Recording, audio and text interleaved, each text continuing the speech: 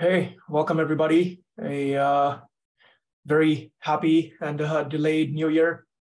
Uh, been a while since we've had one of these Sunday sessions, so uh, appreciate everybody uh, joining us here again in in 2023.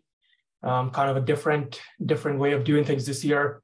2022 was mostly company specific stuff. Uh, we went through 40, 45 different companies, and then the junior sessions, obviously, that were another 15 or 20 companies. Uh, was was more so focused on that. 2023, I want to move more towards a overall uh, overview of the different basins, a bunch of engineering topics, and uh, the um, kind of other special situation uh, opportunities that I would like to discuss um, kind of more in detail.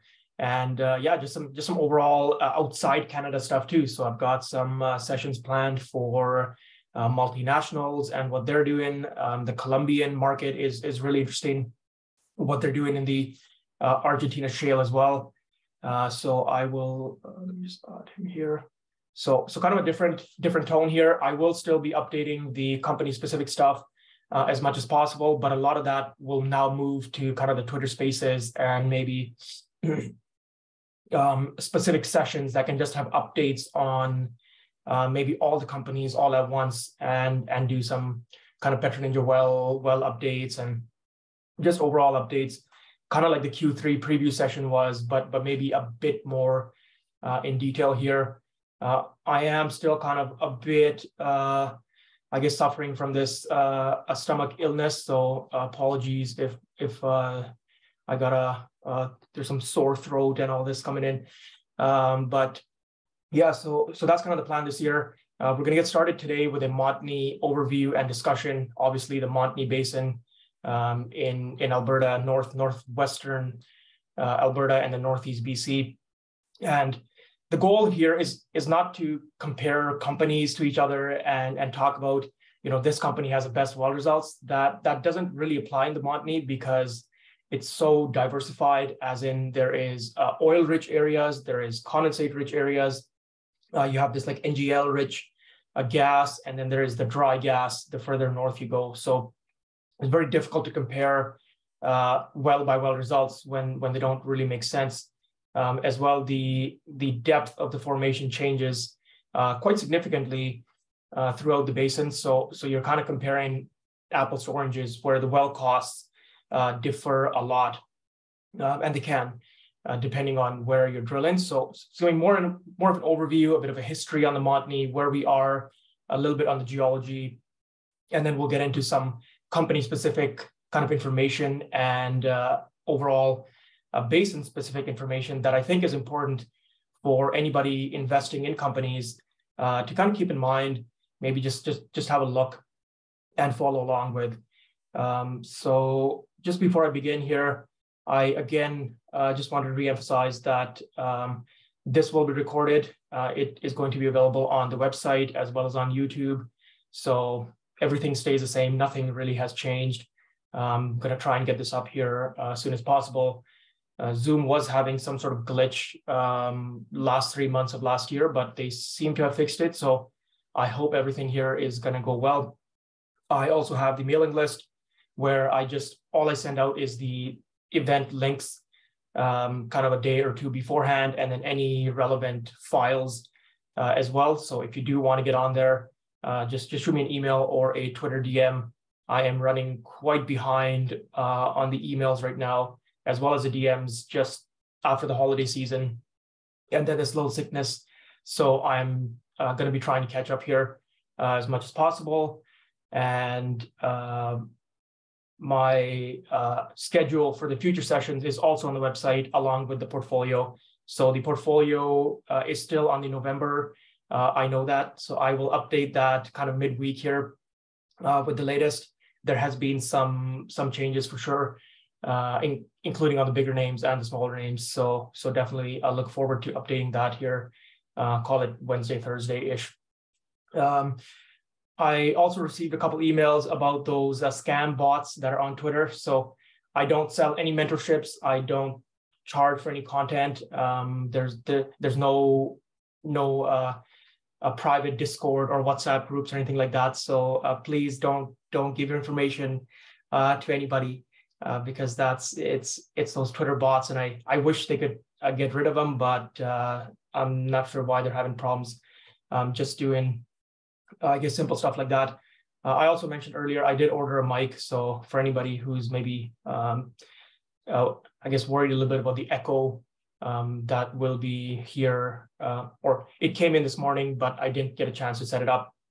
Um, we also added uh, auto closed captions on the YouTube videos as people had suggested. So please keep the suggestions coming. Um, anybody who wants, I guess, anything done a bit different, or you have other suggestions for other seminars that that um, maybe you would like to see, I always welcome that. Uh, it's it's very difficult for me to to figure out what's happening because uh, I don't rewatch my uh, recordings. So so if there is something uh, in there that's a mistake um, or, or, or can be fixed, adjusted, made better, please just let me know. Uh, okay, so a couple things before I start, and I want to make this uh, quite clear again, is please do your own due diligence. What I share is my information, it's my opinion, it's based on my interpretation of what's going on. That that may not mean that it's always going to be 100% correct, and that may not mean that all the companies are going to go 10 bagger in a year. So there is a, a specific um, a sort of due diligence process that I go through, and I try to share as much as possible. That being said, I don't share every single thing because I would just be recording myself 24 7. So uh, please, once again, do your own due diligence and and please just watch watch the the the information that I share. Some of the information is delayed after I've entered certain names. Um, previously. So just keep that in mind. Um, you know, this is not this is not a, a free for all thing where you can just copy it and uh, everything is going to work out and you're going to get the exact same uh, performance or anything like that. Uh, so so just keep that in mind. Also keep in mind your risk tolerance. So I have been at the oil and gas investing for about nine nine almost ten years now. So there's a specific sort of not not just a risk tolerance that's built, but a, a different sort of um, call it mental mindset that's built around these names and the volatility that comes with it. Oil and gas has always been volatile, always. Uh, even in the down cycles from call it 2015 onwards, there were companies that were down 60, 70% in that time frame. There were companies that were up in that time frame. So it's it's not just related to oil price. There are other factors um, that are happening as well to keep in mind. Uh, the other thing I will uh, say is please keep in mind your position sizing and your portfolio construction. So I run, you know, people know this, I've, I've shared this, I run a margin portfolio. It is always in margin. And I also have options in there and I also have junior companies in there. So um, it's a different portfolio construction than maybe a lot of people are, are doing. And I also size my positions uh, as kind of things come in, uh, as the macro, um, my view on the macro, and then and then as the opportunities kind of against each other, so relative basis valuation. It doesn't mean that everybody should be running these sorts of portfolios. So, um, you know, entering entering the commodity trade is is not easy. Uh, as much as it seems like there's there's all these uh, you know huge opportunities and companies have gone up X percent in in three months or six months, it's not representative of, of how commodity cycles go. There, there's a definite, uh, not only an investment criteria component, but a time component. These are not your regular businesses. These are businesses that are maybe front loaded capex heavy in the case of mining, where you put in X billion of dollars, or SAGD, where you put in X billion of dollars up front, you don't get first oil till four, five, six years down the road. So there, there's definitely a, a, a timeline and a gap uh, component there. It is the same for any other conventional uh, oil play where there is a drilling leg, there's a completions leg, there is a leg for the wells to clean up, there is a well uh, leg for the wells to stabilize on production. Um, there's a timeline to it. Rome wasn't built in a day, and neither are oil companies. So looking at stuff from a six-month time frame or a one-year time frame in a call it a growing commodity-based business is just not the right way uh, to be approaching these investments. So uh, that's my view. That's why I say that I invest for the longer term. I'm I'm not out here day trading and trying to uh, pick off scalps uh, uh, or or trying to time these things. Uh, I I invest in good companies based on a macro outlook, and then kind of just let that play out uh, over a period of time and adjust accordingly as things change.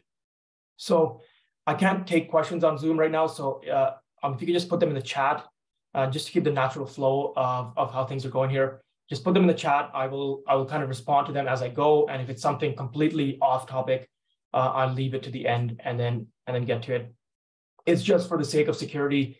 We've had issues in the past with uh, these Zooms getting hijacked, uh, and I don't want to end up on uh, TikTok as one of those um, uh, you know videos, uh, funny videos per se. So that's where we are. So we'll get started here. And um, before I begin on the Montney specific stuff, I want to give two charts on the overall macro because we haven't chatted about um, kind of overall oil prices where we are. Here is the end all be all chart of inventories. So this is as of January 11th, uh, about seven or eight days ago. Um, before I begin, anybody on the Twitter space that uh, would like to join for the Zoom visuals, whitetundra.ca. The website is also in my Twitter uh, bio thing. And if you scroll to the bottom under events, the Zoom link is on there and you can join us for the visuals uh, as well. So, so this is kind of the, the end all be all chart here on inventories. This covers crude oil, oil products, every single type of NGL, propane, butane. It covers SPRs and it covers floating inventories and it covers in transit inventories. So any ships that have oil that are loaded, they have gasoline, they're loaded, they're taking them somewhere else. So as you can see, there's nothing here that shows me that there's anything to be worried about. I see posts that are um, I see posts that are saying that there's this huge build in uh, in call it um, China. There's this huge build offshore that Russia is stocking all these barrels. There's this uh, a build off the coast of Iran. So uh, just give me a sec. I'm gonna fix this. There's somebody keeps trying to control the screen here. So.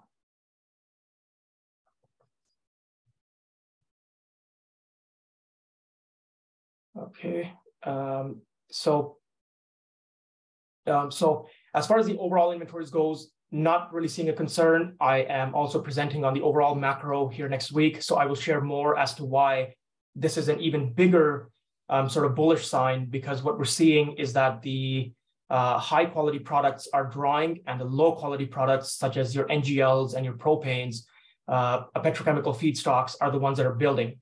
So, so even though the inventories overall is relatively flat, you're you're seeing this shift. And I've, I've used this example before. It's it's like it's um, you know you you had a fridge that was half beer and half water, and then now now you want to drink beer and you open the fridge and all of a sudden it's only 25% beer and 75% ended up as water. So, so something like that uh, is is kind of where we are. Um, but but I will explain that more more on sort of the macro stuff uh, next week there. So uh, overall, the inventory is lower than it was at the beginning of 2022. Once again, this includes SPR, commercial, floating, um, in transit, et cetera, looking pretty good. And uh, keep in mind, this is this is with the Fed funds rate up four four percent um, in the last year. This is with everybody scared of recession. This is with people supposedly jacking up credit card debt and losing jobs and all this. And uh, we're we still seem to be in a pretty good place. I don't want to make this a macro session, so I'll talk about it next week uh, more in detail. Here's your three to one crack spread. So three barrels of oil converted into two gasoline, one diesel. That's your three to one crack spread. It's rising.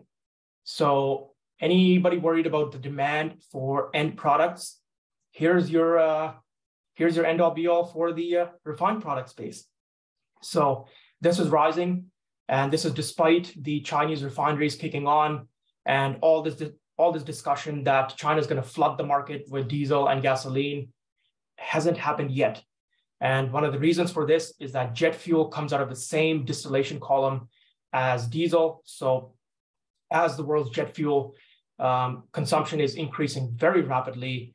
The overall sort of diesel jet fuel is getting a bit pinched. At the same time, gasoline uh, consumption remains relatively high in the rest of the world.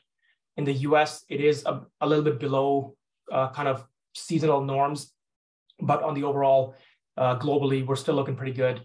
And this is not just US Gulf Coast crack spread. This includes the Middle East, uh, the Mediterranean, uh, Europe, and then as well the kind of the Singapore market as well. So there's a there's a lot of new refining capacity that's come online and will be coming online.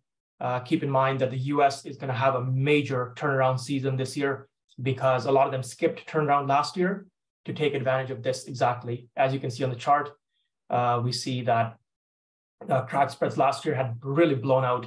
So companies tried to push maintenance over, and um, well, now now they have to do it, uh, or else you're going to have more fires and explosions, uh, like we kind of saw last year as well. So inventories are looking good, demand is looking good, and if that's the case, then obviously you don't have an oversupply anywhere.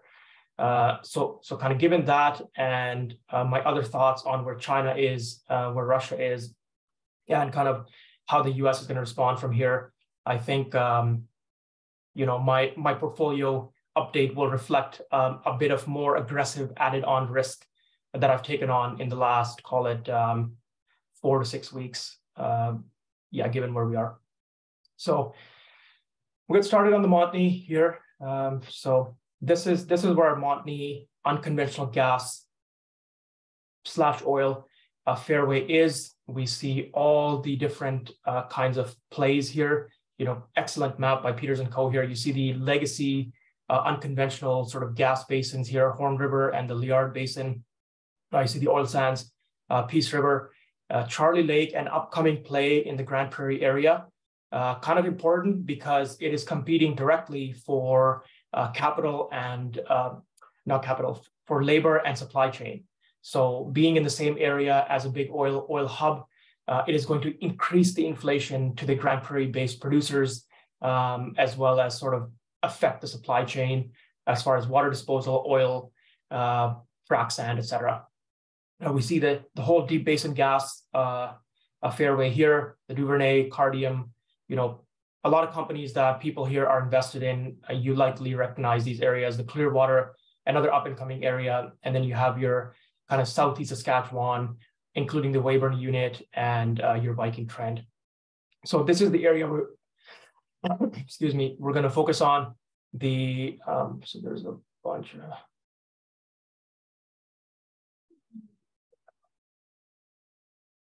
uh, Okay. Just give me a sec here. I got uh, somebody here posting uh, all kinds of stuff. So.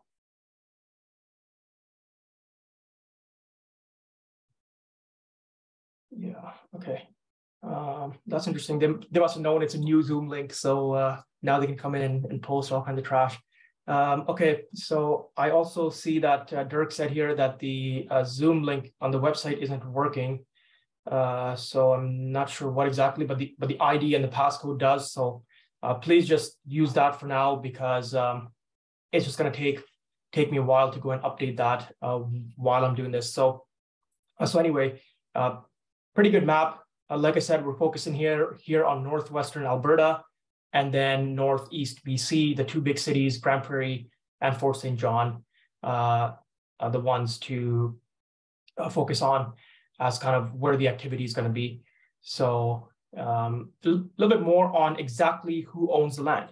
So we see, let's look at the Northeast BC first, the north of Northeast BC. So um, Tourmaline, huge producer in this area. We have ConocoPhillips, who bought this uh, out of Kelt uh, in 2020. We have ARC Resources with their Attachie yet to be sanctioned, but as you know, we had some good news on the Blueberry River First Nation uh, decision here uh, last week. So keep your eye out on this. We have Pacific Canbriam as well, who are uh, kind of your, your LNG participant, uh, if you will, and then you have Petronas. And, and look at look at the development of Petronas. Just keep this in mind. We'll discuss this as things go on. They have maximized reserves, Progress had, before they sold this to Petronas, proved out the entire acreage. And you can see how the development is versus the development in maybe some of these other areas. That is a more, call it full scale field development versus what is here a exploration development and delineation development. So when you look at your companies, just try and look at the maps and see what they're doing. If they have wells absolutely side by side, that's a full scale field development. When they have kind of random wells all over the place, that's your delineation development. Um, so, you know, pretty pretty concentrated area already. You likely will end up seeing a bit more uh, up in up in this area. And then when we look at the the Montney South, the Northeast BC South, a little more companies over here. So we have Ovintiv, obviously, that is drilling absolutely fantastic wells. We have Crew Energy, uh, one of the big landholders here that was outside the Blueberry River First Nation. Uh, and then you got Shell. Again, uh, your LNG participants obviously need acreage. If they're if they want to control their own supply, they're going to want to expand in this area, especially if the LNG Canada Phase Two comes up, uh, gets FID'd as well. Uh, we have Kelt as well, kind of to the north here. So I will discuss more why this is pretty interesting, uh, as well as uh, Spartan Delta, Canlin, some of the smaller names. Here's Vermilion, what they bought from Leucrotta, and then Coelacanth, the remaining Leucrotta acreage as well. So not as concentrated, uh, still quite concentrated, you can say, compared to some of the uh, other conventional fields and other unconventional fields. Uh, at the same time, um, you know, I, I will discuss later on why smaller companies are just not fit for the Montney. And we've seen this in the past where many of them have discovered absolutely prolific acreage and still went bankrupt. So it's it's more a way of the way the cycle goes, and you need this big behemoth pricing power and production power in order to do anything in the Montney. And hey, small companies are still having a go at it. So all the power to them in a bull cycle, can they make it work? Maybe. Uh, I guess we'll find out. But a lot of lot of M and A here still to be done. Uh, I don't think some of these companies are, are are really your full scale field developing companies. They are more so your explore, delineate, sell. Exactly what Leucrotta did. So, uh, looking forward to this uh, happening here. Um, you know, over the next little bit. Let's look more at uh, the Alberta side. So quite a lot of companies, a bit bigger acreage as well uh, as it as it goes further south. So we, you see the big names here that we are all familiar with. We, you have your Spartan Delta, you have your CNRL, you have ARC Resources, you have uh, Kelt, Pipestone, Hammerhead, uh, basically all, all the big big names uh, that were in your Montney liquids rich areas. So Northeast BC is more gas, Alberta is more liquids rich, and I'll discuss I'll discuss all of this in detail as I go on. This is just a, a kind of preamble overall map so people have an idea of sort of where we are. As we go north here into Coupé, uh, again, it, it just completely gasses out. So this is more of your liquids rich fairway, and then you go into more of the gas, uh, a wet gas, if you will, a little bit of condensate. And then the more northeast you go, it becomes more and more uh, dry gas uh, there. So pretty interesting area. As you can see, a lot of companies smushed in here, probably a lot of M&A that's going to happen here in the next 12 to 24 to 36 months. Um, so, so this is your gas drills. This is your oil drills, very similar um, kind of acreage positioning because when a company buys acreage, they would buy the entire Montney stack uh, as opposed to doing, you know, something weird with that. Um, keep this in mind. Again, this is a heavily produced area. You see the number of wells here that ARC Resources has drilled through their Seven Gens uh, acquisition. You see how there's open acreage in, in other companies like Spartan Delta, Hammerhead, very few wells drilled. So whenever you're looking at acreage maps, just try and find maps that actually have the latest drills on them and that'll give you an idea of how much acreage is undeveloped versus how much acreage is developed. And the other thing it's going to tell you is if you see a land area with a lot of wells on it, that's kind of going to tell you that, hey, maybe the tier one acreage is starting to dwindle out. We can't say that for sure, but companies usually drill their best acreage first. And if you see an acreage that's heavily drilled, um, you know, have a look at the well productivities and what's happening uh, year by year by year. Um, so, so yeah, so here's your kind of overall map. Here you see another area where there's a lot of drilling has already happened. Uh, this is Birch Cliff, I believe, if I'm not mistaken, uh, where some of this other area is relatively undrilled, um, especially down here once you get into the Simonette area, which is um, more of your oil focused Montney, um, has, has that relatively low uh, delineation work done so far. So here's your kind of more of a map as to the pipelines. So some major pipelines here, your, your Northeast BC connector, you have your Alliance pipeline that's going towards your Chicago area, uh, CGL, Coastal GasLink, that's going to co connect directly to LNG Canada. And uh, you know, just, just look at where these pipelines are. Do they go through your investments acreage? Are they right there, or do we have to build pipelines to it? How far away from the pipeline is your, your investment company's acreage? So why is that important? Because the further away from it you are, the higher pressure that's in the pipeline that you encounter. So if you are, call it more uh, downstream of where the pipeline begins, you're injecting your gas at a certain point that's at X pressure. Now, if you're further upstream on the pipeline, you now have to beat this pressure to get your gas in the pipeline. It's, it's just simple kind of physics. You can flow only from uh, high pressure into low pressure. Your pressure has to be higher to get your gas in the pipeline. So the further north the acreage is, just given the pipelines the way they are in BC, um, the higher pressure you're going to have to inject your gas into the uh, pipeline, which has a direct impact on your wells and how much they produce and what sort of compression horsepower you need in order to get your gas in the pipeline. This is something that not many people are, are as far as I know, aware of. It was a big problem with Painted Pony um, before they got acquired by CNRL was they were always at the end of the line here, trying to push their gas into this high pressure system, which again impacted the well results. It impacted the number of infrastructure they needed to build. So uh, very important. It's going to be even more important on the Coastal GasLink pipeline. So look at where the Coastal GasLink starts. It's way down south. So companies that are, you know, maybe a bit higher up here, um, you know, some just something to keep in mind. It's not going to make or break companies, but it has a it has a direct impact, uh, especially as pipelines get more filled up, because Northeast BC is not really building that much pipeline capacity. There is stuff coming online, but on the overall, it's still a very seized up system, very prone to maintenance issues and, and downtime. So um, yeah. Uh, okay, so there's a question here. How much does a compressor plant cost? So each million of gas that you want to go through your compressor, so MMCF per day, uh, about 150 BOEs, is going to cost you about a million to 1.5 million dollars. That's a rough number to run with you can kind of extrapolate that uh, as you will. Um, uh, how much does the pipelines cost? Uh, I don't really think it matters um, right now, and I, I don't have that number for you, uh, but you can look up the Coastal Gas Link, what it cost and what the length of it is uh, to give you a rough idea for, for where we are today. Uh, yeah, I don't have the number on me, unfortunately.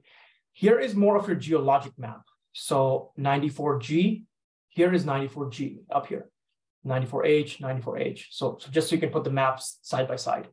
You can see how there's a specific dry gas window right here. You can see there's a wet gas window right here. And then you have an oil window kind of more towards the eastern side. Um, the, the whole basin is, is at an angle, so it's not really an eastern side. It's more like of a northeast, uh, a, a northeastern side is more to oil window. Once again, when you're looking at your companies, what are you trying to buy? If you're trying to buy a dry gas Montney producer, look for companies with acreage more towards the southwest. If you're trying to buy this oily focused Montney, look for companies more to the northeast.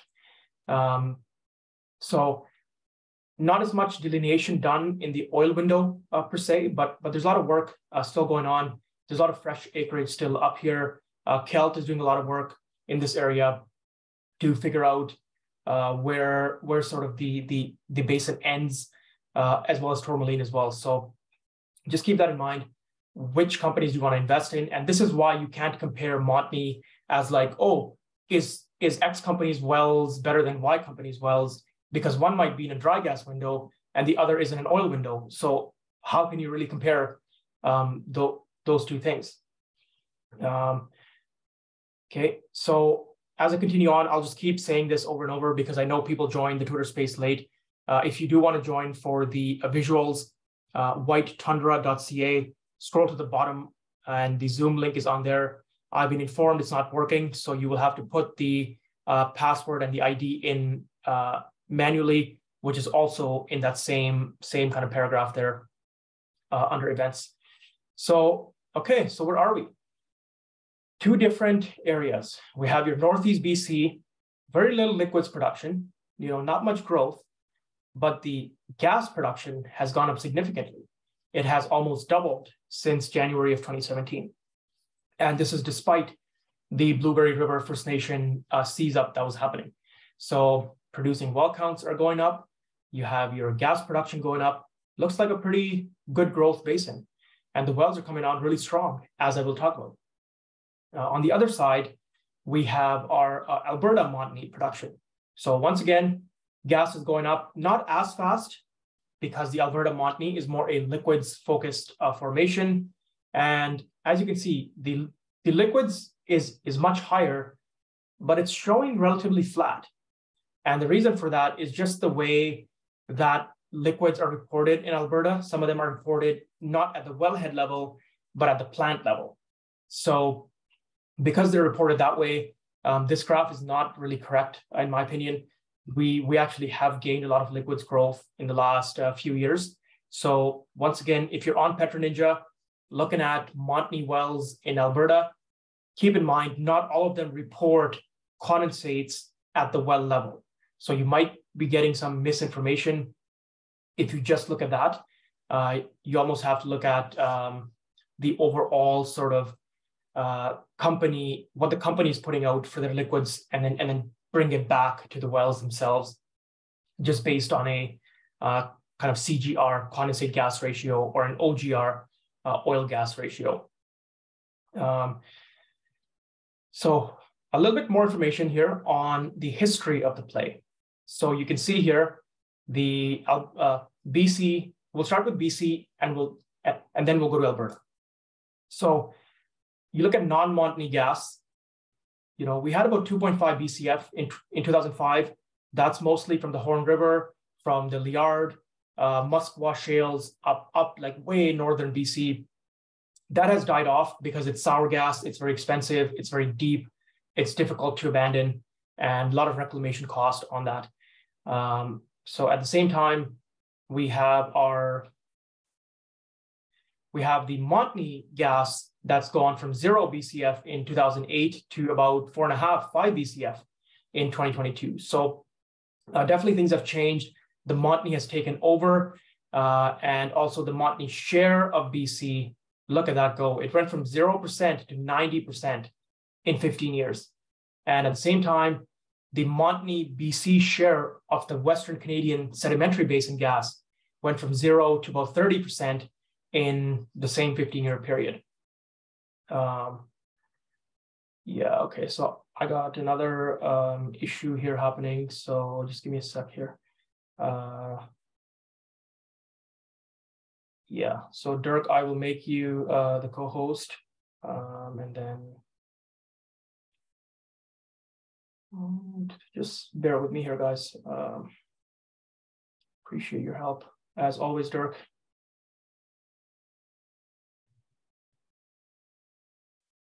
Okay, so remove a couple guys here.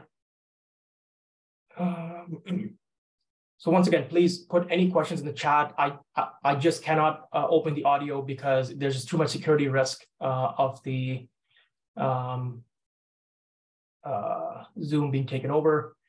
Uh, okay.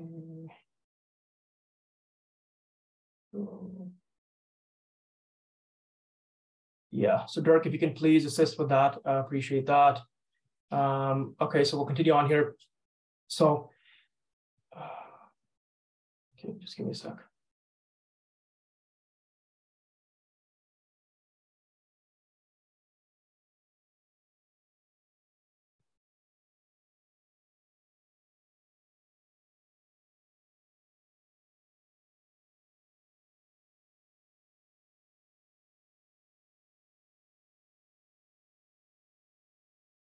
Dirk, can you remove uh, Lester Yua, please?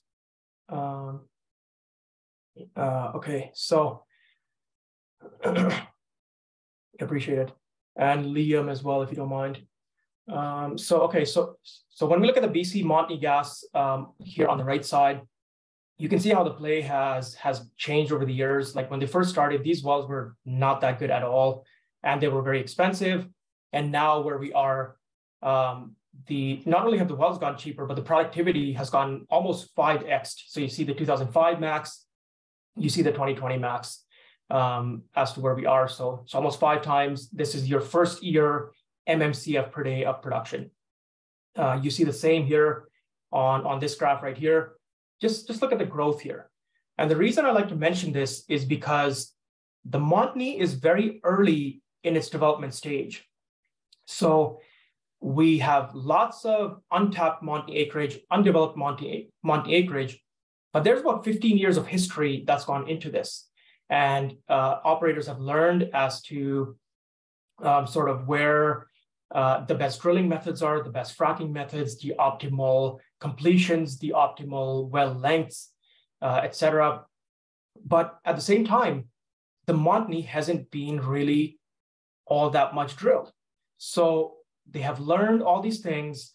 They have also learned from the Haynesville, the Marcellus, the Barnett, the Permian, and we have all this undeveloped acreage that can now be developed at the best economics in a structural bullish cycle. And that's really where Canada has a significant advantage over what's happened um, in the last last kind of few years in the US. The US blew through all their acreage in $1.50 MCF gas. They blew through their oil acreage in a 40 to $50 oil environment, um, whereas Montney is still relatively untapped. Uh, kind of for Alberta's own doing, because they never built enough pipeline capacity to get the, the basin drilled properly. So uh, a, a blessing in disguise. Here is also your BC Montney gas wells by 60th month of production. So why is this important? Because we want to see how these wells tail out. So not only is the first year important, the fifth year is also important. So as you can see, significant gains here. This adds to your uh, expected ultimate recovery of the wells um, as kind of the wells go on. Uh, you see, okay, well, five years down the road, it's still making a million of gas per day rather than 0.28. And at the same time, we see the horizontal lengths have not really increased all that much. Again, why is that important? Because that means it's not like the like the Permian where the well costs went through the roof because they they were drilling three mile laterals instead of one mile laterals now to get the same kind of oil. Um, BC Montney has always had longer wells, so the well costs have not gone up that much. At the same time, your production is up significantly. So very very compelling investment case, um, if you're somebody who believes in sort of the gas story, is that other investors paid for the last 15 years of discovery, delineation, bankruptcies, low gas pricing, uh, figuring out fracking, figuring out drilling. They already paid for it. We come in now at a time when LNG is, we can kind of see it on the horizon here. Um, gas demand is going up globally, and the acreage has been very well delineated and companies are trading at two to three times cash flow, four times cash flow. So, you know, when people ask, how, can you be a, a perma bull? The bear case is really hard to find with these companies. They survived the absolute depths of hell for the last 15 years. And now you're telling me that they're going to go bankrupt because some random thing is going to happen or a US recession is going to take them under? Not, not a very strong case. Um, okay, so let me give you a latest update. That was till 2020, and uh, you know maybe you were feeling a bit bullish. Here's here's 2022. Well productivity is up 60% from 2020 to 2022. 60%. Why? Because better completions technologies. We just know now which completions work, uh, the, the, the right number of frac stages, and the right kind of frac sand. So Northeast BC is an absolutely phenomenal, prolific area. And it still hasn't peaked in terms of its well productivity, not even close. So we see here the wells 2021, you know, lower, but then they have this this this shallower decline. Uh, 2022, whatever companies were doing, they were overproducing the wells. So yeah, you had a great first year, but the decline rates are a little bit higher. That's just the way things go with with more advanced completions technologies. You often will get higher rates upfront and then a drop off um, sort of as time goes on. We see here the average well length didn't really change. It in fact went down last year. Um, and then the, the, the overall production went up despite the number of completions in 2022 going down. So this could be both a positive and a negative. If you think that there's enough demand that we could actually consume all this gas and still keep prices high, that's that's really great for the companies that hold acreage in this area. However, it leads to the same question. Are companies going to overdrill, overcapitalize, and crash the AECO price? There, there is kind of your, your, your red flag scenario when the wells are so good um, and there's so much undrilled acreage. So just something to keep in mind. Let's look at Alberta. So Montney, as you can see, relatively smaller on the gas side uh, because as you know, it's more liquids focused acreage. Uh, we see still the Montney share of Alberta has gone from about zero in 07 to about 10% in 2016 to almost 25% now in 2022. So the Montney share is growing. Uh, as the Montney liquids production grows, it, the gas is just gonna grow with it. You see the same on the well productivity. The wells are not as good, but the productivity rates are still increasing year, year by year. Not exactly true in the last five years. And that's because, once again, companies are focused more on liquids now. They want these, these heavy uh, uh, liquids ratio wells, they want condensates, they want the NGLs. So they're not as focused on the gas, which is great for investors who, who want more of a liquids component weighting to their companies. It's nice that companies have realized, hey, let's focus on the oil positions and we can leave the gas for when it's actually needed and the prices are much higher. Um, that being said, you can see that the overall trend on the 60th month of production is still rising. Um, I would expect this to flatline or decrease here, given kind of the trend you see here on the uh, IP365 rates. And this is one area where horizontal length have actually continued to go up, um, just, just given that uh, for, for more liquids wells, the higher, longer uh, wells end up doing better, um, especially on tier one acreage. So probably flat lines here. I don't think it's going to go up too much uh, more than this, but but you know, compared to the BC acreage, much different. And you know, again, highlighting that we cannot just compare Montney as one thing. It, it's a very diverse basin. Um, so, so there's different companies with different acreages that are that are targeting a different liquids content, uh, that are targeting different benches in the Montney, and running different drilling and completions techniques. This is Alberta and Montney combined. So once again, just kind of reiterates what I'm saying. The Montney is becoming a huge play. It's now about 45% of Western Canadian sedimentary basin gas. And you can see the non-Montney gas supply has gone from 16 BCF to about 10 BCF in the last 15 to 16 years. So declining, that's your deep basin, that's your uh, Liard Basin, Horn River, that's your other conventional gases, whereas the Montney supply is, is kind of the thing that's keeping it flat to increasing. Looks very similar to like a conventional oil versus shale oil, a chart that I posted the other day.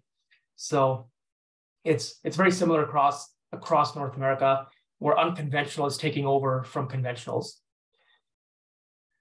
Uh, yeah, thank you, Dirk. Uh, I think we're uh, good to go right now. So, okay, break even cost. This is where the Montney absolutely destroys any US acreage. It's not even close. So, and I'll and I'll discuss more as things go on. People say the Haynesville is this, the Marcellus is that. The Montney is way better than than both of those. When you look at the break-even cost of supply, here's your Western Canadian Sedimentary Basin Montney, about 50 cents and MMBTU. You have a bunch of Permian in here. Why? Because the Permian is targeting liquids. And so as they get the gas, it's relatively free to kind of produce. The cost supply is just about zero. Um, and then we see our, our Haynesville formations come up here. There is some Montney uh, in here as well. Um, okay. Uh, so, so it's kind of just a, a chart that goes through. It gives you the, the different benches and the different tiers. Um, Dirk, can you remove Maximilian, please? Um, so, yeah, so so just keep that in mind. You have your lowest cost gas here. You have your tier one acreage in the Montney still left, whereas some of these U.S. acreages, you know, you're you're getting into some of the more um, drilled up acreages. So, okay, once again, we're, we're seeing the productivity increase. It has been a step change in the last two years, an actual step change, both in the IP rates and in the cumulative rates. So something that I think it's very important to keep in mind that in Northeast BC, the companies that are running reserves off 2020 well results, 2021 well results, expect to see a big increase in that. Um, are we going to see that in 2022 reserve reports? Maybe, but it's it's definitely a bonus as um, more investment professionals look at the net asset values. You're going to get this step change increase in productivity that's reflected in these as time goes on. And also, as I mentioned earlier, a lot of the acreage is undrilled. So this step change productivity increase applies to a massive amount of acreage. And if the oil and gas price cooperates, you now get this huge gain at a much higher pricing. When your break even cost is so low, all of that is additional netback. You can see where I'm going with this. So uh, reserve reports should be out in March or so, and we will see what what's changed. I was at one point looking to incorporate uh, uh, reserves into my spreadsheets. It it is still um, kind of coming, but I I just found it very difficult to to quantify reserve values at different WTI and AECO pricings. So going to be one of my goals in 2023, amongst other things um, as well. So Alberta productivity, this is more of a gas. So you see Pipestone Wapiti going up. You see Glacier, Pouce really rising uh, southeast and other Montney. So you're talking about your Simonette areas um, looking good. Kakwa declining. So the Kakwa 7 gens acreage is the most drilled up acreage in the Montney so far. So it's going to give us a good, call it three to five year upfront information on what's going to happen with the rest of the Montney when they get to a certain amount of wells drilled on the acreage the Kakwa is by far the most drilled area. Why? It is an absolutely phenomenal acreage. Seven gens grew from zero to 200,000 BOEs per day in a span of five to six years. It is that prolific. And, and remember, that was in a $60 WTI and $3 gas, sub $3 gas environment. Um, and they still made money. So, um, you know, but I will talk about Kakwa more a little bit later on because what's happening in Kakwa is very similar to my concerns with the Permian and the shale productivity in that area. Now, when we look at oil productivity, relatively flat. So the Wembley Karr area is looking good, which is just north of Grande Prairie, uh, your, your Gordondale area uh, progress, and then your Ante Creek, Simonette, uh, all, all sort of flat-ish um, at the moment. So Um, okay.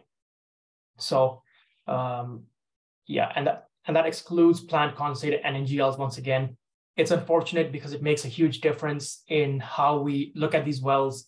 And I just wish the Alberta system would get better at reallocating that back to the wellhead level. Here's your British Columbia Montney supply stack. What it tells you is what is the break-even cost of supply for how much resource. There is a 100 TCF of resource that's good down to 10 cents. 10 cents NMMCF. So we take that, we say there is about 375 TCF that's good to $1.50. 325 TCF, I should say. And uh, to give you sort of, to put that in context, if you're producing, call it 10 BCF per day, yeah, call it 10 BCF per day, you're producing about four TCF per year. So, so Alberta and BC produce about 16 BCF per day.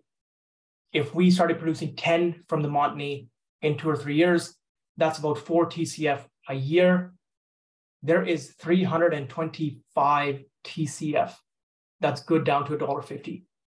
That is the scale of this resource and why Canada has completely shot themselves in the foot by continually delaying LNG projects, by continually adding restrictions and uh, uh, uh, other unreasonable requirements uh, compared to what the US has done, and are really profit, profiteering from shipping LNG exports to the Europe and making royalties, taxes, income taxes, shipping, um, all, all sorts of economic benefits from doing this.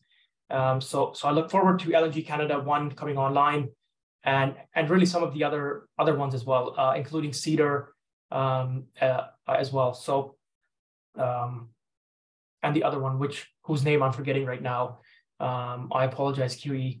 Uh, so so anyway, a very low cost um, basin, very very competitive on a global scale, very environmentally friendly, and uh, I think the lowest greenhouse gas emissions uh, for natural gas production uh, in North America for sure.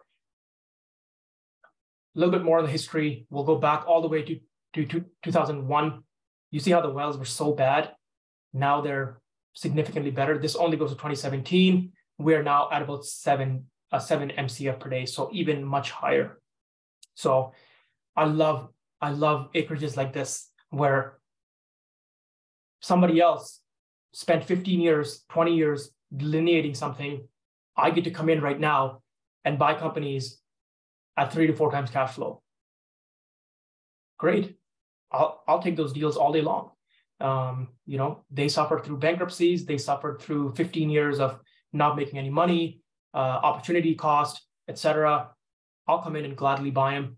That's exactly why I think there's going to be a lot of M&A in the space because companies will eventually realize like, hey, let's just pay a little bit extra and take over this 40, 60, 100 year reserve uh, and just get on with it. Uh, frac stages, again, we had about 30 frac stages in 2016. We are now at about 100 plus, sometimes 200 plus frac stages. You can see how things have gone up uh, as, as time has gone on. The research process, if you will, as time goes on, and why I will once again repeat Rome wasn't built in a day and oil companies are not built in six months. These are decade long processes that we have the opportunity to enter. Um, not investment advice. This is my own interpretation um, of, of the situation we're in. And I get to buy these companies uh, with relatively lower risk um, as far as geology is concerned um, into a what I feel is a bullish oil and gas cycle, as everybody knows. Um, a little bit more on the pipelines. As you see, gas is a big deal in shale plays. Why? Because if you can't get rid of your gas, you can't produce your oil. It's just the way it goes. So you're not going to be allowed to flare. You're not going to be allowed to vent gas. You have to produce it and put it into a pipeline. Uh, we see West Coast Energy going into Washington State. We see the T North, uh, Montney T North Nova Gas, and then your Alliance again going to Chicago. There is a bit of extra capacity coming online in the NGTL, the Nova Gas lines. But as you see, your, your alliance is relatively maxed out. And then as well, your West Coast pipeline is, is relatively maxed out.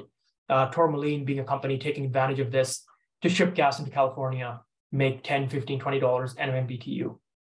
Uh, NGTL, not, not all that much growth. Uh, your Coastal GasLink is your main feeder line in the next, call it two years. That's going to kick, kick on uh, at about 2 BCF per day of incremental export out of the basin. So keep this in mind. If you're a growth company, if you're investing in growth companies, make sure they have firm transportation capacity. So you don't want them to be, you know, going about um, here and there, growing production, and then, oh, we can't even produce this gas because uh, we don't have the pipeline space. You don't want to end up in that situation. Trust me. There are companies that have got slapped doing this, um, not understanding where the basin supply demand is, not understanding where the firm transportation is, and not willing to pay the price up front to lock in firm, rather going on this floating thing. Um, can you make more money doing it? Possibly. Very risky when the export capacity is this tight.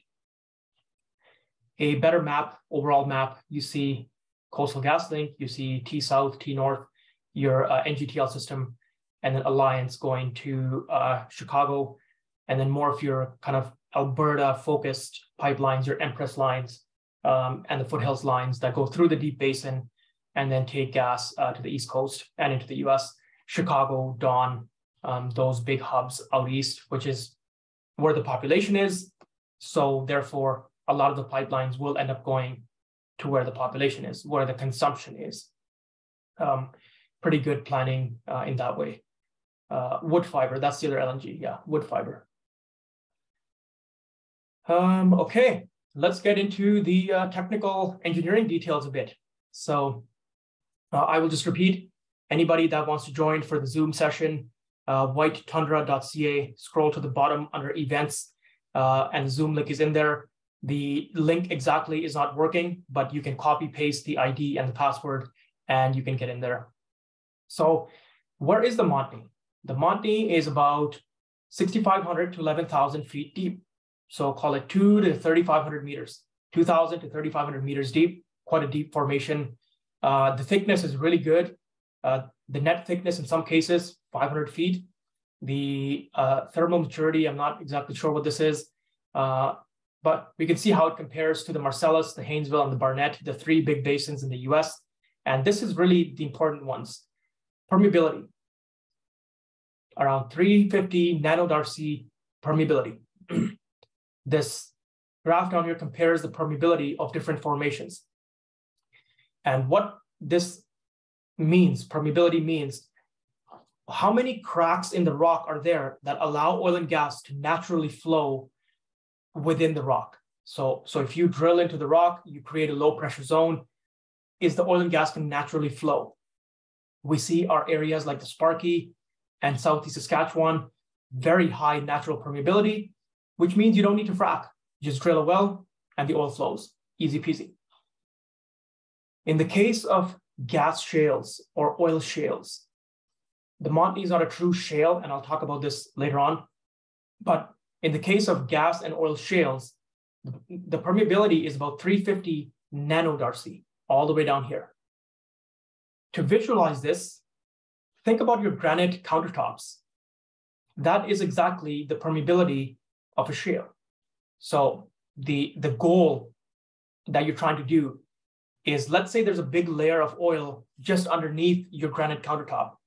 You now have to force it through the granite and on the top side. Can you do it? Well, you can, you know, you can be the biggest bodybuilder in the world. You will not be able to put enough force into that, that, that liquid from underneath to push it through the granite and on top. And therein comes the problem. That's why this oil and gas has been trapped for decades, decades, because nobody could figure it out. How, how are we going to get this out? So what they did, they fractured the granite using high pressure water and just like put really high pressure in this small area, closed it off, and then put so much pressure on this water that it literally fractured the granite. awesome. Now the oil can flow through. You don't have to put all that much pressure on it. You may not even have to put any pressure. It will naturally flow up. So, um, so that that kind of gives you a visualization of how it is. Whereas, if you want to think about the more of the conventional uh, reservoirs, it's like a layer of sand. So instead of granite, think about a layer of sand. You now have oil underneath this, and you're trying to push it through the sand. It wouldn't take that much pressure to push it up and, and have it show up on the other side. Um, it's pretty obvious because this is the way that oceans work. They literally carve through the sand and go into and above the sand. So uh, gives you a bit of a, a understanding uh, of that. The, the porosity number, about two to four and a half percent, um, it varies. Porosity varies. It can be from one to five to six, seven percent uh, in some cases.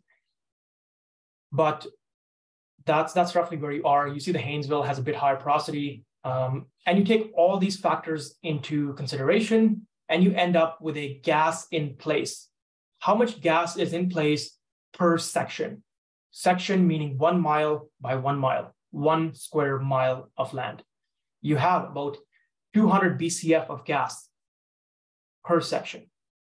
Um, and, and I think the Montney is 50,000 square miles, if I'm not mistaken. So, so think about that 200 BCF of gas per square mile, and there's 50,000 square miles. Of that, Canada produces roughly 16 BCF per day, 16 to 18 BCF per day. So each section gives you 10 days. There's 50,000 of them. You have 500,000 days worth of resource uh, in here. Not, not, not all of it can be produced, obviously, but gas recovery factors are, are relatively high uh, for the most part. You have your pressure gradient, which tells you as you go from surface, as you go deep, how much pressure does increase? How much does the pressure increase? 0.65 psi per foot, pounds per square inch per foot. Um, yeah, so roughly the same in in you know throughout throughout the world really it's all the same. And then you get your eur per, per well uh, on top of that. So that's a bit on the uh, geologic side of what's happening here. Um, you know give you an understanding why shale is so hard why people couldn't figure it out until now um, and and kind of where we are and also why the shale um, is is just so expensive because you have to do these completion techniques that you don't have to do in the conventional side so a little bit more on the gas, the Montney gas. Here is your Marcellus. It grew from zero to 25 BCF in a decade, overcapitalized. Here's your Haynesville. It grew from zero to 15 BCF in 12 years, relatively overcapitalized.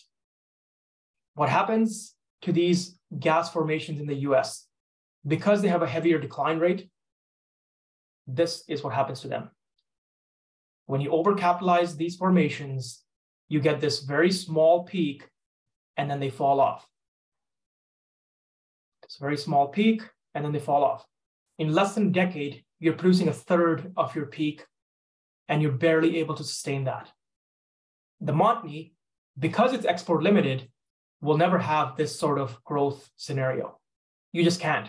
You would have to build another 10, 20 BCF of export pipeline, knowing the, the Canadian government and the pace of development there for infrastructure, not going to happen. So this allows the Montney to have a more of a normalized, if you just follow my, follow my mouse here, a very long normalized reserve, 40, 50, 60 year reserve. An inherent benefit to investors because not only do you get a really nice reserve life, you also are not spending all your cash flow into the ground to get this like un unsustainable growth phase that then peaks out and dies. So once again, here's your US basins. Looks very similar to the Permian. Here's what happens. So, um, you know, kind of two points there. You the Montney producers are much better set up for growing production sustainably. You, as an investor, are not are not going to be exposed to like this egregious pace of development.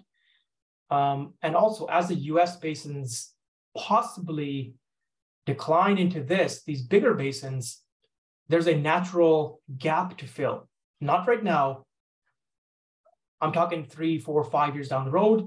At the same time, if LNG comes online, double whammy, bang, North American natural gas could become very profitable, despite the fact that we have a metric like global, ton, uh, a whole planetary ton of it uh, that's in the ground. So um, keep this in mind. Canada is going to be a very strategic North American gas producer in four to five years.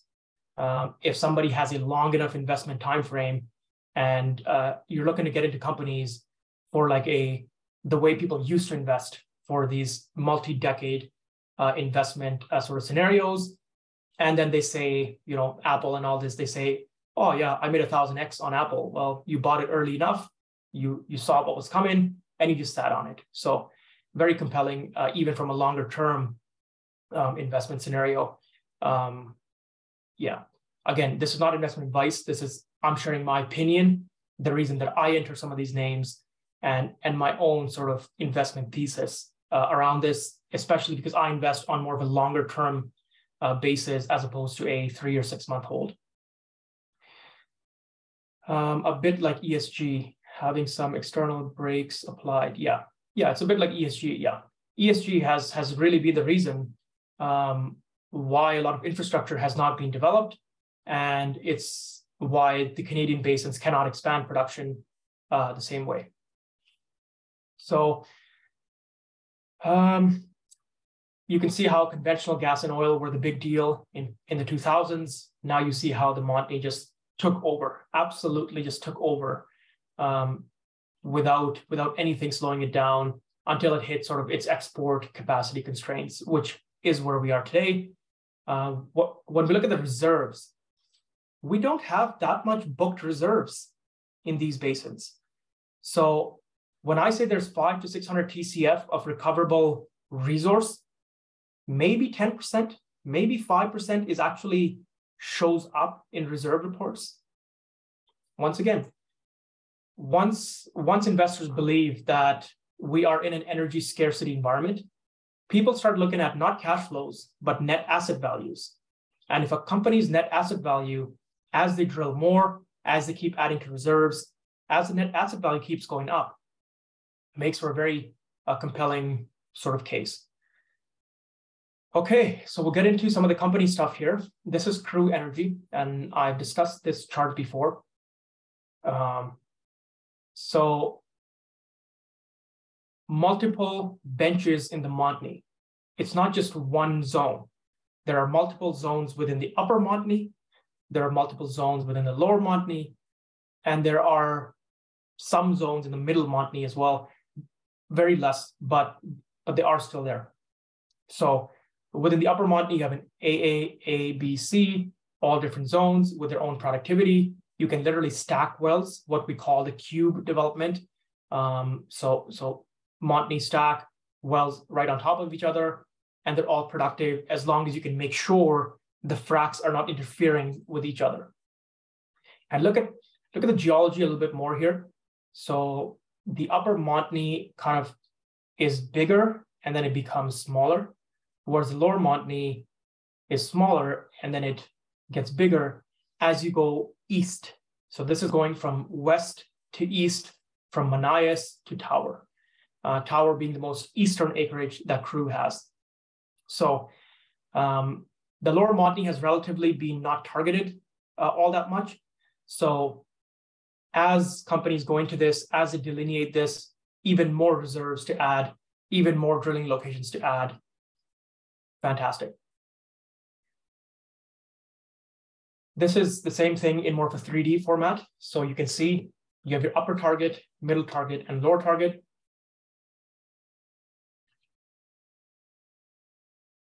because the Montney is a 500 meter thick acreage, you can plant multiple wells on top of each other. The distance between uh, the top well and the and the next bottom well is kind of what you need to make sure so that there's no uh, fractured communication And then this is called your well spacing. So the spacing between the wells on a horizontal basis is called your well spacing. Companies will run different kinds of well spacings either to maximize your per well recovery or to maximize the number of uh, the amount of oil and gas you get out of an individual section. So what does it mean? Look at your company's well spacings and what they're doing, especially if they're changing them around year to year. So companies with less acreage will usually have tighter well spacings because they want to maximize the amount of oil and gas to recover out of their little box. Whereas companies with huge acreage will have wider well spacing, which allows each well to produce way more oil. But because each well produces way more oil, they have a lot of less wells per box. So they end up recovering less oil and gas on that box. They can always go back and infill drill, a refrac, um, do a cleanup job, etc. But all of that costs money. And if your well is going to be drilling in the middle of two other wells, its productivity is not going to be as good. So that's something that's going to be well down the road. It's something that the Permian is suffering from. Again, I will discuss more of this uh, next week. So here's your gamma, here's your porosity. You can see how the porosity signature is really nice. Um, and the gamma signature um, kind of cuts off down here, which is your shale. So the further to the left that the gamma signature is, you've hit kind of a very tight shale formation. And that's what's kind of underneath the Montney here um, and on top as well. That's what keeps your oil and gas within a certain confined box, uh, if you will. Um, okay. So I don't I don't have much information on the Horn River Basin, unfortunately, but it was a big, big, big basin it might still see some development as uh, gas prices go higher, but it is a very deep, expensive uh, acreage to operate. It is a lot of sour gas, and companies just don't want to deal with with that sort of thing. Um, at just at this time, the Horn River was was really drilled in call it early 2000s when gas prices were 8 10 12 15 dollars an, an mcf so we have a long ways to go before those kinds of acreages become important again, just because the Montney has so much supply. If gas in Alberta got to six, seven, eight, ten bucks, they would just start drilling like everything out of the Montney and start building pipelines. Of course, there's a lag effect on that, which could be multiple years, but the Horn River Basin has the same lag effect. Like there's only so much pipeline um, to go through. So uh, here's a bit more about the uh, what we were calling the cube development. So you see how the wells are. The the well right on top of the, the other well is never like uh, parallelly on the same uh, is never parallelly same. It's it's kind of like this wine rack method just to prevent fracture communication. So this is another thing that they've learned over the years.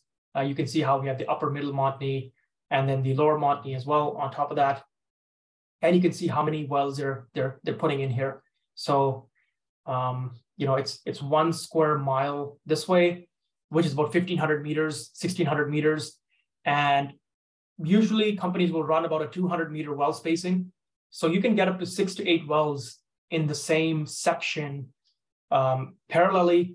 And then you can do up to five to six benches, depending on how aggressive you want to get. Um, nobody has made the full cube development really work uh, Encana tried it and they failed horrendously. Um, so, so there's a limit as to how many wells you can start piling in um, because the well productivity does drop and, and there is the risk of communication. Anytime you frac something, the fracture could go any which way. And there could be natural fractures in the rock. There could be other uh, uh, shale zones in the rock that make the fracture go a different way than what you would have thought. So not recommended to drill this uh, 64 well pattern. Um, but again, I don't I don't make those decisions, so uh, it's not up to me. Here's uh, a little bit more geologically what's happening. So as I mentioned, the upper Montney more towards the uh, west is bigger, and then the lower Montney smaller. As you go more into the Alberta side, your your upper Montney completely disappears and you get this lower Montney that is much shallower, easier to drill, and the lower Montney has a higher liquids content. So that's why we drill the lower Montney in Alberta. Your Charlie Lake is a formation that gets completely squished out. So to make up for this uh, change in the Montney, it's your Charlie Lake that gets uh, like totally gone.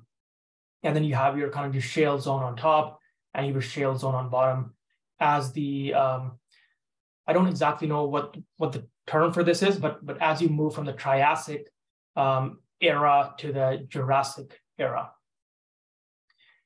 Um, yeah, so Crew's acreage is actually right on the Coastal GasLink pipeline, um, as well as other major pipelines. So there's there's kind of a reason that um, they have a very very highly regarded acreage package. It's also excuse me, it's also outside the Blueberry River First Nation um, area. So, so there's kind of a natural benefit from that. Um, why is frac communication a problem?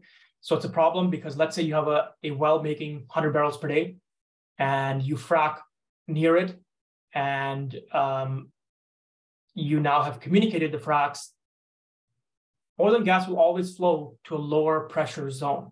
So the well that are the wells that are already uh, producing are going to be a lower pressure zone. So your new well, instead of producing at max rates, is now going to start leaking oil and gas into the older well, which may not have the pressure to get the, all that liquids up. So now you got to install a gas lift, and your new well might become a complete dud because everything just starts flowing into the lower pressure zone. So uh, you don't want frac communication, um, no matter what when we used to produce, uh, when I used to operate wells in the Grande Prairie area, and there was a frac happening nearby, all my wells in the area would get shut in because there, if the frac communicated, your well could suddenly go from making like 10 decks of gas, E3, M3, to hundreds of decks of gas and immediately pressure it up. In some cases, pressure up to the point that your separator explodes or there's some major equipment damage. Um, I've even seen cases where the entire tubing strings can come out of the well um, because so much pressure got communicated. Maybe like a Montney frac communicated with a different zone uh, uh, uh, well, and the setup for the well was not such that um, uh, that uh, it could handle it. And uh, I wish I could share the video, but um, I don't know if I have it anymore, but but there's this video in I won't name the operator uh, in the Grande Prairie area about two years ago. Yeah, about about two ish years ago, um, where the entire tubing string got launched out of the well. So think about three thousand meters of heavy steel, five inch um, diameter pipe um, shooting out of the well. Yeah, not not good. Um, you don't want this these things to be happening. So, okay, uh, let's talk a little bit more about the geology. So we have the upper Montney is a siliciclastic reservoir, uh, reservoir, and the middle and lower Montney is a bioclastic reservoir. Clastic just means broken pieces. So take any rock that you see somewhere, smash it up, and you end up with a clastic environment. So how does it happen? It happens because of weathering it happens because of glaciers coming in, crushing the rock. It happens because of waves and tides that come in and continually beat on cliffs and they destroy them into little pieces. And the pieces go and they fall somewhere. And uh, okay, so so then what happens? In the bioclastic reservoirs, you have plants and dead animals that burrow in between these, uh, call it sand or silt or rocks, whatever, uh, mud. They just they just burrow in there they die, that over millions of years becomes your oil and your gas. That's as simple as it is. In the siliciclastic reservoirs, it is more of a siltstone. So it's not this fine grained sand, it's more of a, a, a small quartz, like a very small quartz. And the the oil and gas in that is is not from a from a bio like dead plants. Um, yeah, I'm actually sure not not exactly where the oil and gas in in siliciclastic uh, reservoirs form, but um, still working on my geology work. Uh, but but either way, that's that's kind of the difference. That's why the um, middle and lower Montney are more liquids because it's literally dead. uh, algae and plants and animals, which more so become liquids, whereas the upper Montney is, is a lot of gas focused um, uh, development drilling. There is still condensates here, don't get me wrong, but, but it's more uh, gas focused uh, reservoir, uh, especially in the Northeast BC part of things. So um, yeah, that's that's a bit more. Here's a below zone, which is kind of your, your lower shale as well. Currently sitting at a CNRL frac site, Leland area. Uh, um, I don't know where Leland is, unfortunately, but if you give me the LSD, I can uh, tell you right now uh, if it's Montney or not. Um, okay. So a bit more here. So uh, just to get into the geology a bit, you can see more about the lower Montney uh, siltstones and the, the bioclastic uh, environment. And then the upper ones uh, are your other siltstones. I'm not going to go into this because I don't understand this, what these words mean. But all I'm trying to say is that these are very well delineated areas. This is not something some guy just came in and started producing. They, this is multiple decades of, of geologic um, mapping, uh, well logging, about uh, reservoir parameters, about oil and gas uh, parameters and lab testing. So, so there's a lot there's a lot of things that we know already.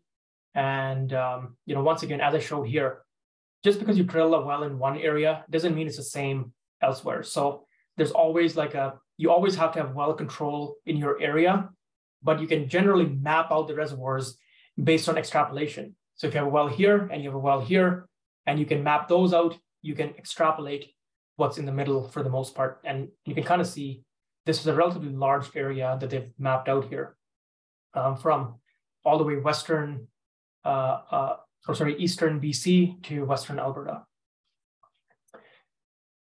Okay, so people uh, didn't believe in the Montney.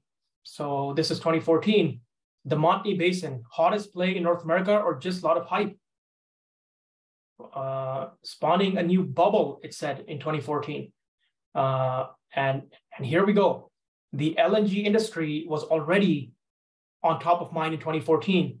We still don't have an LNG facility built in Canada. Embarrassing. So now that we're close, a lot of this optimism that was in 2014 is finally getting uh, realized, if you will.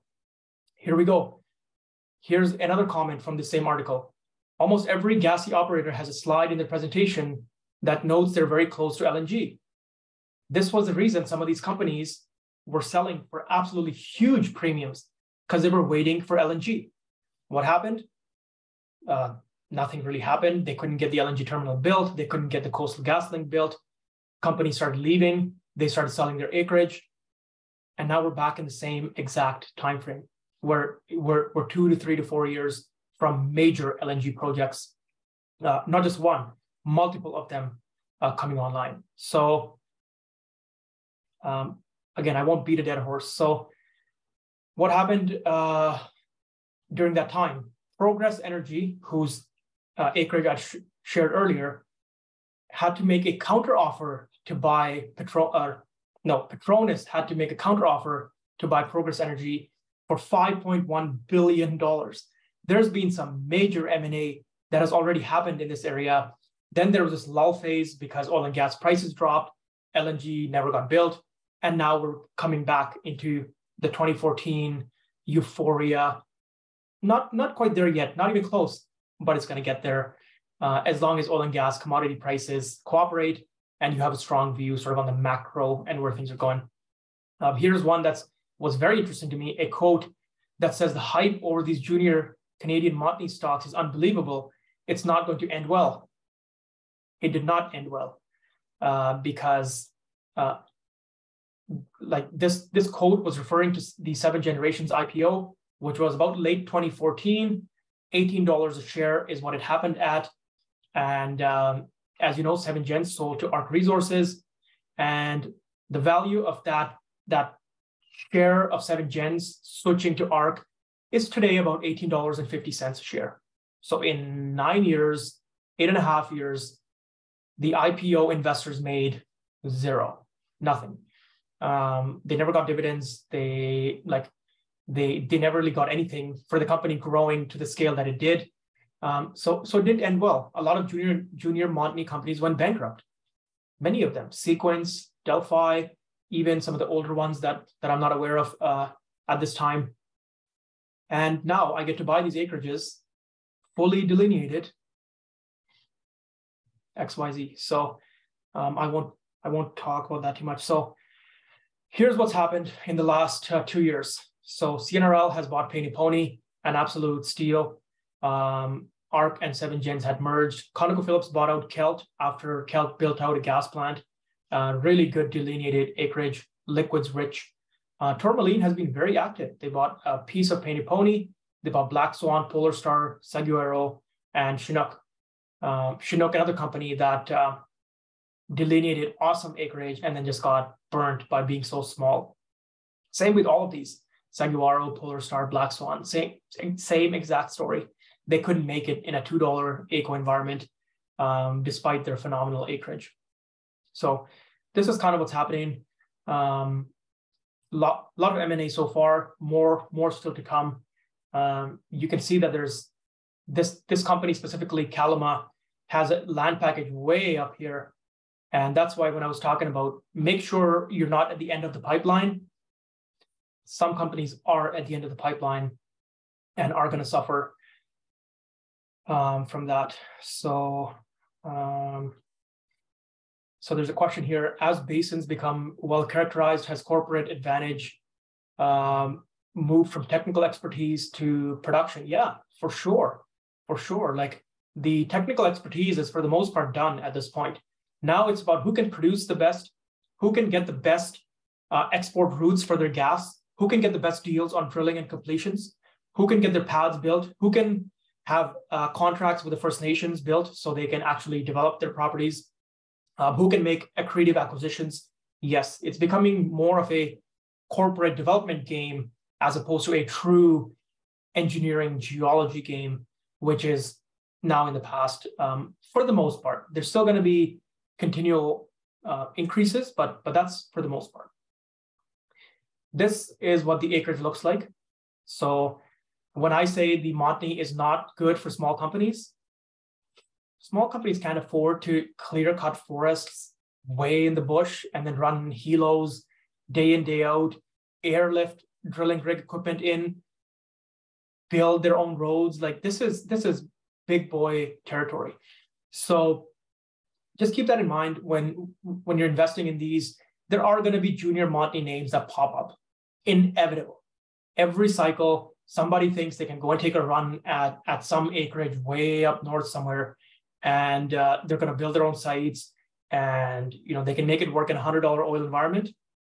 Hey, kudos to you. We we need more exploration people like that, um, but the investors are not not the the table is not skewed toward the investor. There's a lot of money that doesn't go into drilling and completions that has to go in before you get any sort of property set up way in the bush.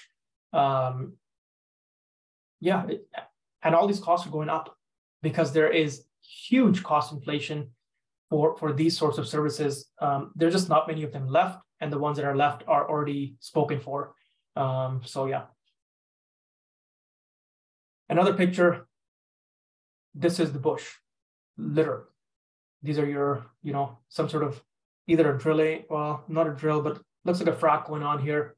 And these are your water ponds.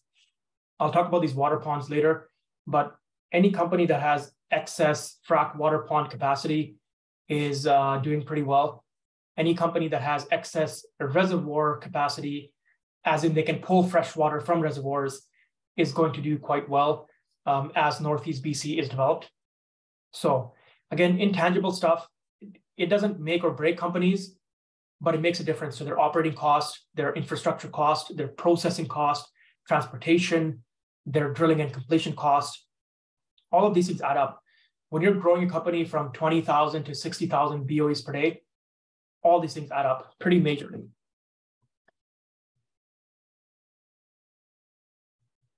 And again, I'm not talking on a one well or a six month cycle. I'm talking over a three to five year development uh, full, full scale field development uh, cycle. Here's another picture of uh, kind of the Montney gas plants. So they are built in this modular fashion. So all the piping will be in one line, and then you build modules around it as the gas plant capacity gets bigger. Very efficient, very effective, like amazing planning that goes into this. You see here the pipelines are coming out of the ground. Yeah, coming out of the ground right, right there. There's one. They come in, they go into your inlet separator right here. In the inlet separator, you, you take out condensate, water, oil, whatever, whatever wants to drop out. You then take it into a dehy unit, which will take out other uh, waters and um, any sort of uh, other contaminants in the uh, in the unit. Then you put it into a refrige, and uh, what the refrige will do is drop out NGLs. It will drop out propanes, butanes, you can adjust the pressures and the temperatures in a refrige uh, uh, depending on. Um, I am recording, right? Yeah. Uh, okay, great.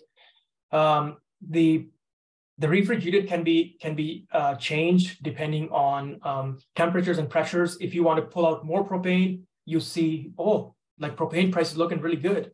You can adjust those things on the fly and get more NGLs or less NGLs. So um, you might have heard your gas company saying we re-injected NGLs into the gas stream and all this. That's what they're trying to say is that propanes and butanes weren't worth enough. So we just we just left the refrige plant go and we just left the propane and but, uh, butanes in the uh, in the gas stream. And so the gas stream had a higher um, heat content. That being said, some pipelines will not allow you to do these sorts of things. So you have to have certain parameters uh, on the pipeline.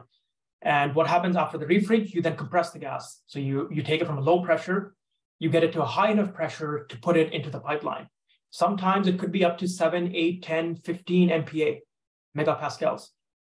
Uh, so you need a lot of compression horsepower. Sometimes there'll be multiple stages of compression. So you have your initial compression and then your secondary compression, uh, sometimes even a tertiary compression. We also have amine sweetening. So if you have sour gas, it has to run through an amine sweetening skid where it pulls the H2S hydrogen sulfide outside of the uh, gas stream. And then you can uh, sell your gas based on, again, the pipeline parameters. Some pipelines will not allow sour gas. Some will not allow a certain kind of water content or NGL content. And then you have a condensate stabilization. So the condensate that gets pulled out is very gassy. So the, the, the gas is oily, uh, very volatile, and the oil is gassy. So you have a specific condensate stabilizer where you leave the condensate, you let the gas flash off, and you put it back into your, your gas stream, and then your oil slash condensate goes into your oil tanks. Here is what a propane bullet looks like. Here's what an oil tank looks like. So all the black tanks are oil. The water tanks will usually be blue, but they can also be black uh, or white. And, and this is your propane bullet. So they keep propane at a very high uh, pressure in these bullets. And um, you might have seen driving down the road those propane trucks that come in. They will take this propane uh, in its pressurized state and um, uh, and sell it, sell it, or or take it to wherever it needs to go. So um, very nice. You know, I I love checking out new gas plants when they're freshly built. Um, have went to many of them just for my own curiosity, and uh, just just cool to walk around and see state of the art equipment, technology, automation, uh, ESG, emissions reduction, lot lot of cool stuff. Um, yes, yeah, Dirk, yeah, yeah. A refrige is basically a crude crude fractionation. I'm I'm not going to pretend to be a refinery or a gas plant expert by any means. So this is just my understanding of it. But yes, the the refrige plants, when you go in there, there there's literally like icicles and snow, like that that liquidy snow everywhere, because that's just the the temperatures at which these things operate. Um, it's quite it's, it's quite cool to see. Um, you know, especially as an engineer, it's it's just awesome. Uh, the kind of things that are out there um, yeah, here's a frac going on. looks like a Montney frac. So you have, uh, I think this is Calfrac, given the green color on this coil tubing unit. And uh, all these pumpers will pump down uh, water. Uh, they'll keep pumping water down and keep fracking the formation at a very high pressure. And you can see the number of individuals it takes to run oil and gas operations. When we say there's a labor tightness, it's not one or two guys that are going to come in and solve the labor tightness issue. Each frac needs 50, 75, 100 people. Each drilling rig needs 200 direct and indirect people. So there's a big group of people that makes this happen. Um, you know, working out there 24, these are 24 7, 365. There is no vacations, there's no birthdays, there's no Christmas. You you work when you're called into work, and um, that's that's just the way the oil industry works. We consume oil 24 7, 365. We need to produce oil 24 7, 365. One from ARC Resources here. Very cool, cool picture. Nice promotional uh, pic here. Nice little uh, plant site. A uh, little flare stack here on the end. And um, awesome, awesome territory. Awesome. Like it was absolutely a great working in these types of areas. Lots of wildlife. Um, as I discussed in my uh, a video, um, the video that I posted, the Wapiti uh, a run video on the ATV. Um, if you haven't checked that out, I, I basically have a had a GoPro on my side by side when I used to operate, and I posted about a hour long video on my YouTube where I just talk about the different things as the video goes on. Um, the screen record didn't work properly for that, but um, you know, you still get the point as to as to what's happening. Um, these are called right of ways. So this is where the the pipeline is buried, and most of the time they'll keep this very clean and clear cut because if there's ever a spill in the pipeline, you need very fast access to go uh, and check it out. You can also run electrical cables. Um, depending on what exactly you're trying to run, you can run Wi-Fi and uh, satellite uh, um, what do you call it, fiber optics uh, through here. And most of the time it's just pipelines. So there'll be gas pipeline, oil pipeline, there could be a fuel gas that's coming in to feed the uh, site. Uh, but yeah, these are called right of ways. There's a road coming in and going out east or go, yeah, east on the picture. I, I don't know where exactly this is. Um, okay, so before we get into the company specific stuff, um, I just wanted to say again, for anybody on the Twitter that would like to join for the Zoom visuals, uh, whitetundra.ca, scroll to the bottom under events, and uh, the Zoom link is there. Uh, you will have to input the uh, ID and password manually right now. There's something wrong that I will fix uh, for the next session. Uh, okay, so let's compare the US and, and Canada. So we have the, you know, let's give the oil oil producers, not a good comparison we will go um, actually let's let's keep the oil weighted producer. So about $15000 us capital efficiency which means for every barrel they bring online they are paying about 15000 us um, to bring that boe online. Um, on the on the gas weighted side you have somewhere about around 7000 gas just comes on a lot stronger uh, keep in mind that the BOE of gas is worth a lot less than a BOE of oil. So naturally, we expect this to be lower. Um, the, the Canadian Montney producers are on a Canadian dollar basis about 13,000. So, so quite, quite attractive, especially the liquids rich uh, Montney producers. They really compete uh, with these Permian Eagle Eagleford names. And then on the gas focus side, you know, Tourmaline is your big one. Uh, Birchcliff, a little bit expensive uh, because their their DCET costs are a little bit higher. Um, but but you know Tourmaline doing really well comparing to EQ, uh, EQT, uh, Coterra, and Antero uh, really well. The the kind of the number to watch is this one here.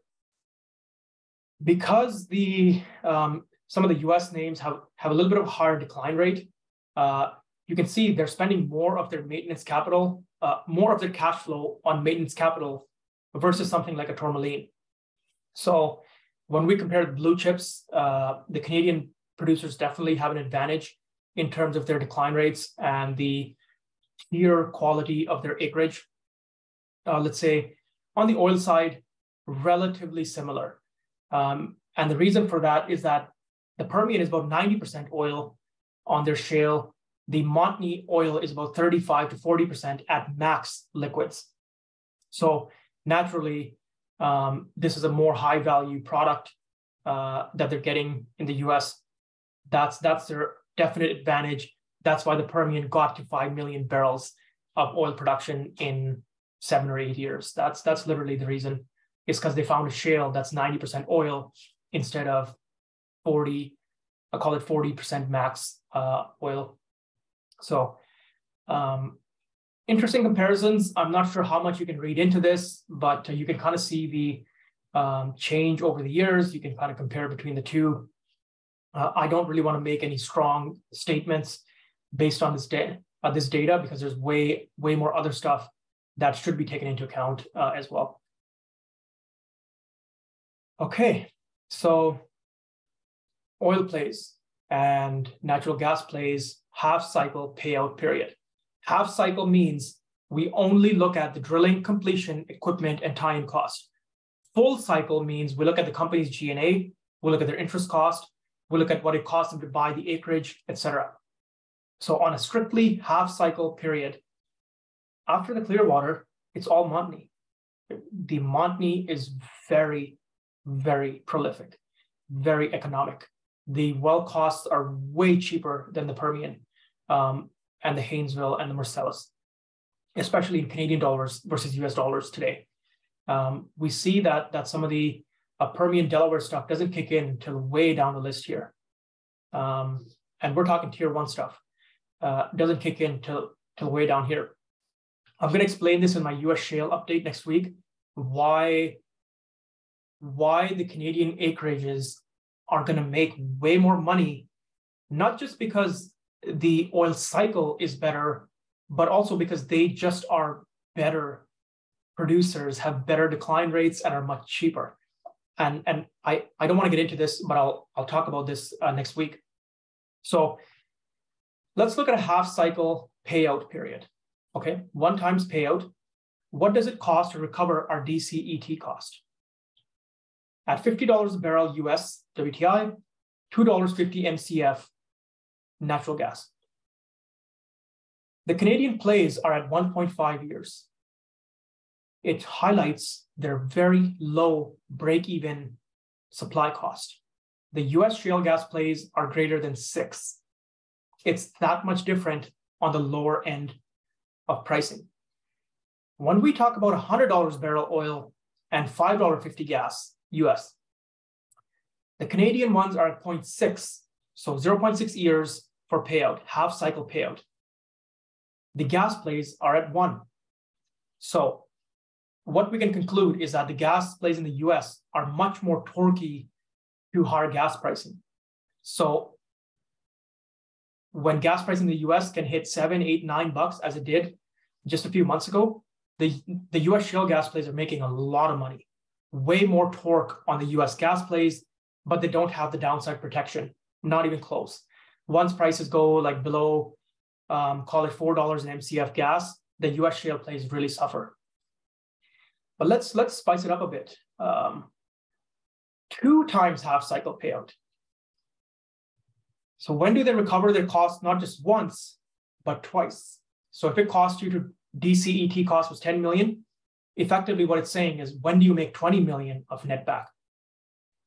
Because the Canadian gas plays have lower decline rates, when we look at a $75 per barrel, $4 MCF gas environment, about 2.8 years median. The US is 7.5. So they pay out once but because they've declined so much by that point, the second payout is just a three times as much longer. And even in a bullish environment, this holds true. At $100 uh, a US barrel WTI, at $5.50 gas US, 1.8 for the Montney, or for the Canadian natural gas plays. This is not just Montney, I should say.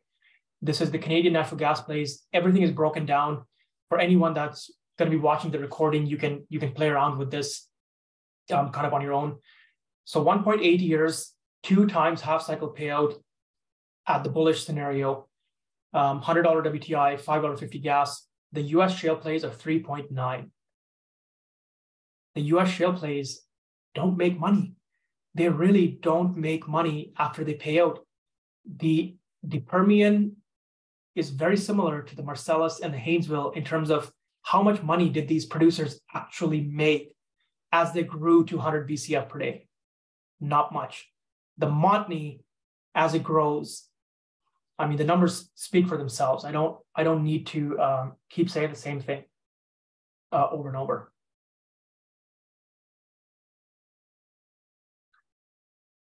This is what we want. This is Delphi Energy that uh, went bankrupt or they got bought out. Uh, can't exactly remember right now. If anybody knows people at these Montney producers, as an investor, this is what I want. Every single well, what's the length? What's the IP30? How many fracs? IP60 or IP90, IP180, IP270, IP365, and then IP730. If if you know somebody at a Montney producer, if you have a stake in a Montney producer, if you know somebody at IR, send them this, this chart and, and say, this needs to be in your corporate presentation. If you want your multiples to re-rate, if you want people to really know what your wells are doing, we need this for every single well in your corporate presentation or as an addendum um, sort of file. Because this is what investors are looking for. When they are in the Montney, there's so many different areas there's so many different um, uh, uh, different kinds of like gas oil ratios condensate oil ratios it really simplifies things especially the technically focused investors they really want to know what is going on within your wells um, you can see how the montney some wells are really bad some wells are really good and then you have these all these wells that are sort of the median average wells um, as well and I believe Paramount is the only one that puts this right now in their corporate presentations. Uh, we want more of this. So if you're listening and you you work at a Montney producer, please make this happen. This will help investors. Uh, this will help you get more capital into your your companies. It really transparently clarifies things. The one thing I would add, if you could, is the cost, the well cost per well. Put the well cost in. Let us run our own netbacks. Let me run my own type curve you know, give me a chance to run my own, uh, you know, FCF calculation. Give me a chance to run my own production uh, estimate on on what's going to happen. Why are you doing it? Um, you know, and just and just throwing a graph on there, which may or may not be correct. It may be misleading. People don't believe you. You know, throw this in there. And I really want to stress this point because people keep asking me when when are companies going to re-rate? How come the multiple hasn't expanded? It's because people don't feel comfortable investing in, in oil and gas companies. They need more transparency. They need to know what's happening. And a large part of my efforts are, are towards that goal. And it would be good if the companies can support me on that by just posting transparent data. Um, all this data is already on PetroNinja. I can already make it, you know, but not all investors have those um, you know have the time they don't have the softwares they don't have the interest to do these things um,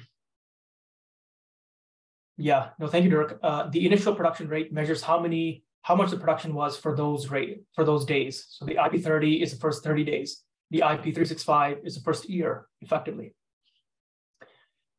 here's some of the growth in the montney um, you can see acreage hammerhead you can see the um, analog wells that are being drilled around it. This is Kakwa right here. You can see how Hammerhead is developing their acreage. Um, most companies will develop where the pipelines and infrastructure is, the full scale development, and then they'll have these delineation wells all across uh, all across their acreage. Um,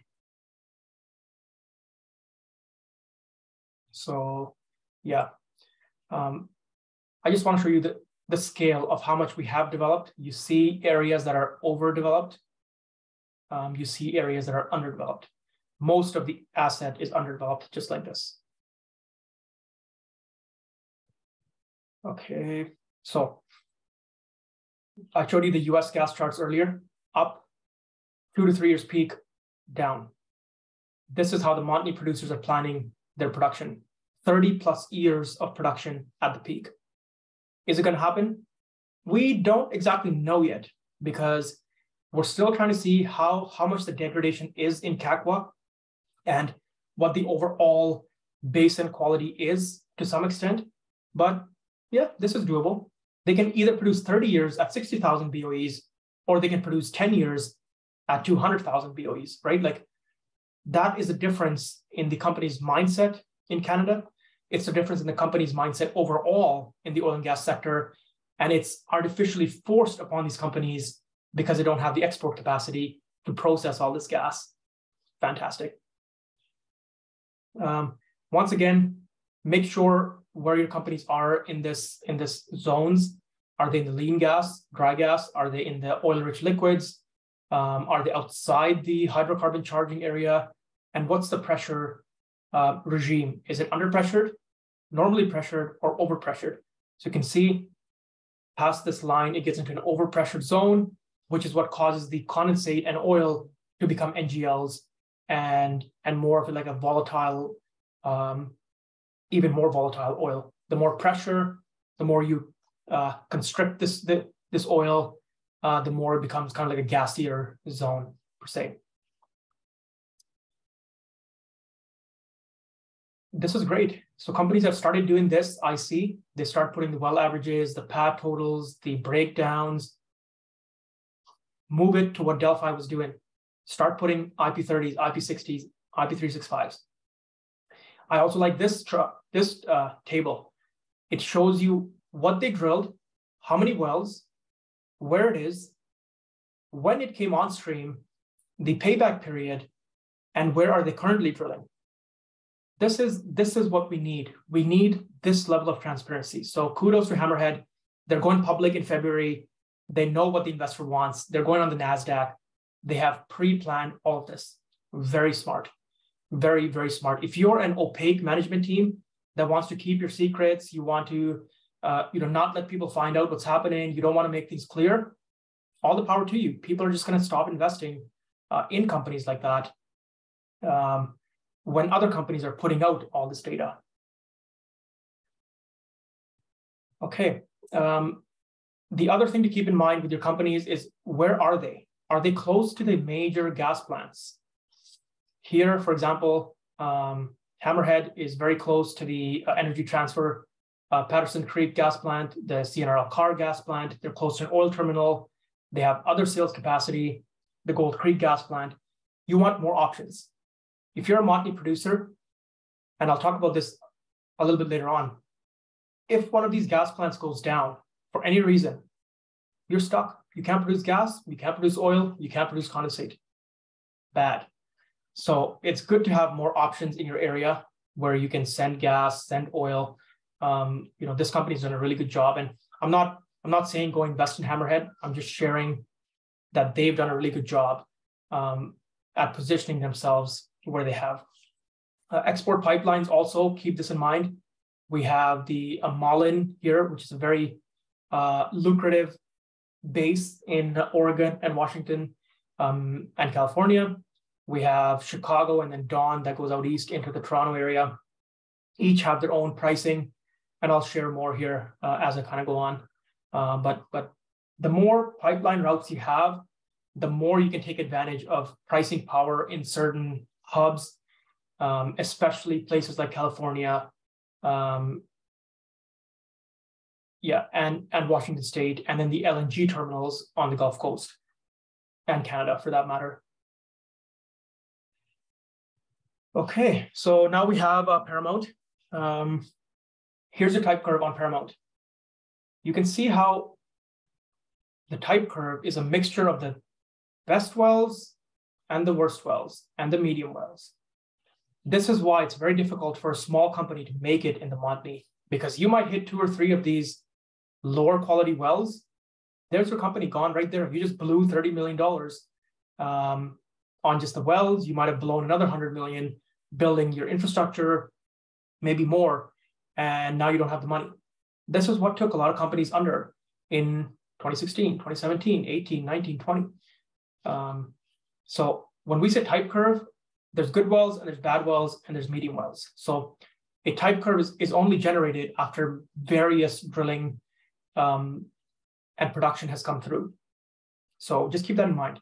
If you're investing in a company with one or two or three well program, the type curve goes right out the window. It, it doesn't really mean much um, because you could hit a really good well, you could hit a really bad well. Um, you, you're not gonna hit the exactly the medium well. Look how many wells in this in this chart are exactly the medium well, five percent less. Um, so, um, yeah. So, and then they share with you your sort of type curve information. This is a cool chart that uh, Paramount has. It tells you the well cost and then how many times the wells have paid out. So you can see how as the well costs have come down, the per well payout, how many times the well pays out over its life has gone way higher. Um, I don't like them estimating this because they're effectively telling you what the well is going to make over like a 40 to 60 year time frame. Um, not quite relevant. Maybe they should they should turn down their EUR to show the next 10 years, let's say, or the next five years, as opposed to like, oh yeah, this well will produce till 2065, and we're just going to tell you how much net back it's going to generate. A, a, a tiny bit misleading, although accurate, tiny bit misleading. Still, kudos to them for, for sharing this. Um, they, they did the same for their Wapiti wells.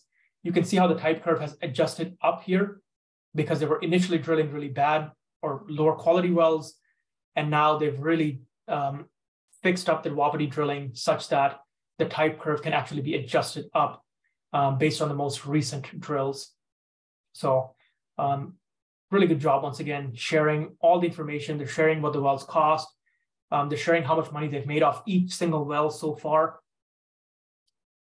Paramount has been one of the top performers from 2020, lows of 2020, along with management strength, transparency transparency. Tell us what's happening. I don't want to be caught off guard with random stuff that uh, was not well uh, disseminated before the fact. Costs. Keep an eye out on this. Completion costs have been going down for years, years, five, six, seven years. Now they've ticked back up. Well costs are going to go back up. This is not an opinion, this is a fact well costs are going to go back up, sometimes 10, 15, 20, 30% in certain cases. So as you're running your models, um, we already see this in the capex that's been increased in certain names, but there's going to be further increases and and keep a close eye on the the well internal rates of return. Some wells are very sensitive to increases um, in the DCET cost. Some wells are not. So watch the cost. Just watch the cost. Watch which companies are able to keep their costs low versus which companies are really getting affected. Another reason why small companies are at a disadvantage when they can't sign up for a 10, 20 well drilling program or a 10, 20 well frac, you're paying top dollar um, to mobilize that unit, bring it in. The company wants more money because they gotta deal with your um, you know your sites and, and all that for only one or two um, jobs. Once again, transparency, excellent job by Paramount. They show every single well, what it's making, peak 30 day, and what it's made cumulative. I would like to see still the IP90s and the IP365, but this is a great, fantastic start. Um, really gives me insight into what's happening. Uh, you can see how the Wapiti wells are relatively cookie cutter in terms of production. You can see how the Karr wells, some are good, some are bad, uh, some are neutral, medium. Goes through your, your type curve. Very similar, right? Very similar. The way they make these type curves is off that. The consistency of your top well results. Um, okay, so we're, we're about two hours in. So um, I think I have about 10 or 15 more slides to go. So we'll finish that up. We'll do a little Q&A session and uh, maybe we'll, we'll call it there uh, without having to take a break here. So Tourmaline, huge acreage, lots of undeveloped acreage. They own lots of gas plants. There's a reason this is a blue chip of the blue chips. They have control over almost everything here. Reserves, I'd mentioned this earlier, as they start to delineate more of the undeveloped acreage, the reserves are going to go up substantially. We know the, the resource is there. It just hasn't translated into reserve because they haven't drilled a well right next to it. So as as the companies develop, as they delineate, the reserves are going to go up very substantially, very, very substantially, which then comes into net asset value, which is then further uh, can be increased by higher oil pricing, uh, oil, oil and gas pricing. Here's Tourmaline's wells. Um, you can kind of see the internal rates of return here um, and how many future development locations they have. This is the big boss, along with CNRL as well. Uh, but but CNRL has other things uh, going on. So the gas portion of their business is relatively small as part of the company compared to a Tourmaline, um, where the gas is their business for the most part, um, along with the Charlie Lake and the Conroy and all that um, oil focused stuff, uh, Wapiti it. So looking really good. Um, you know, can't can't say much wrong about Tourmaline. It's uh, very well managed, very well run, very well executed company. Look for companies with LNG supply agreements like Tourmaline and ARC. 15 year supply agreements selling at JKM 140 MCF per day. JKM is currently trading at about $20 US and MMBTU plus. So you're taking gas that's worth $3 Canadian, AECO $4, $5 Canadian, you're now selling it at $20 US. Pretty substantial. So something to incorporate into your models for sure. Um, especially with the big producers, it can make a massive impact. Owning facilities. Always check how many facilities does your uh, investment company own. Not just because they save on processing, they save on transportation, they get to control their own destiny, but because the plants are worth a lot of money. ARC has about, call it 1.5 BCF of processing capacity, maybe more, 1.5, 1.6. That's worth about $2 billion plus in facilities and infrastructure. Nobody ever talks about this when they when they start running models on cash flow, they start running models on net asset value. There's a lot of inbuilt infrastructure um, infrastructure upside that is is not really uh, shown in the uh, stock prices. So once again, all, all of this changes over time.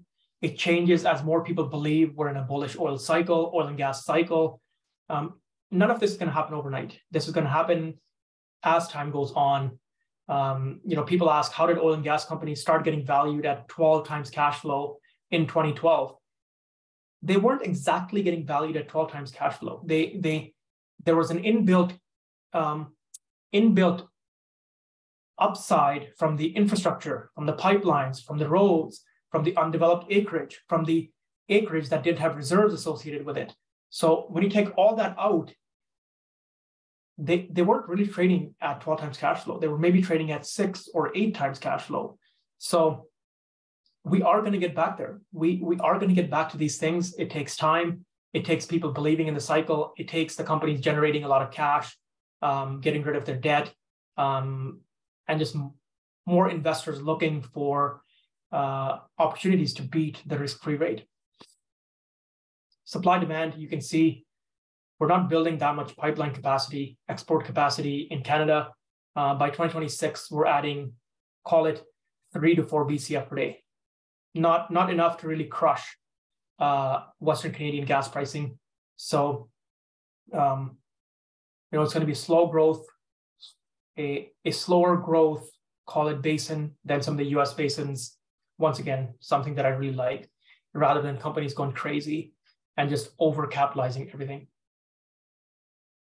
ARC also has Attachie West, uh, completely undeveloped. It's 200,000 acres and they only have 5 million BOEs of, uh, of reserves associated with this. Again, I, I keep saying the same thing, I know, but, but in the Montney, the undeveloped reserve value is not being reflected in, in most of these names. As they develop these, as they delineate these, you're going to see the reserves value start to skyrocket up um, as they as the reserves uh, evaluators give them credit for this. We already know this is Montney. There are wells here that are making oil and gas. There are wells here that are making oil and gas. There are wells here and here. Unless there's a huge geologic unconformity that just appeared out of nowhere and the 3D seismics are fake, I mean, there would have to be some serious fraudulent uh, issues or a serious geologic uh, problem for for me to say that there, this isn't Montney, um, and it's not going to be as productive as whatever's around it. But the reserve evaluator will not give you credit for it until you drill. So people saying that oh companies are trading at their you know 60% of the reserve value try and run it what are they what are they being valued on a resource value again this is where savvy investors can make a lot of money by by pre kind of front running these things happening um, and why i choose to kind of allocate my dollars in the montney in in specific names that that have this upside um, as opposed to other names that have already delineated um, their packages.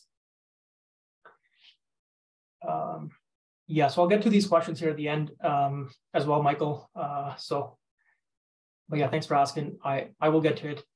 Um, here's your Attachie phase one. As you know, about a three-year uh, cash capital commitment. At that point, it can probably flow for 20 to 30 years, um, making a pretty relative, uh, relatively nice netback and keep in mind, this is at $65 WTI and 475 US gas.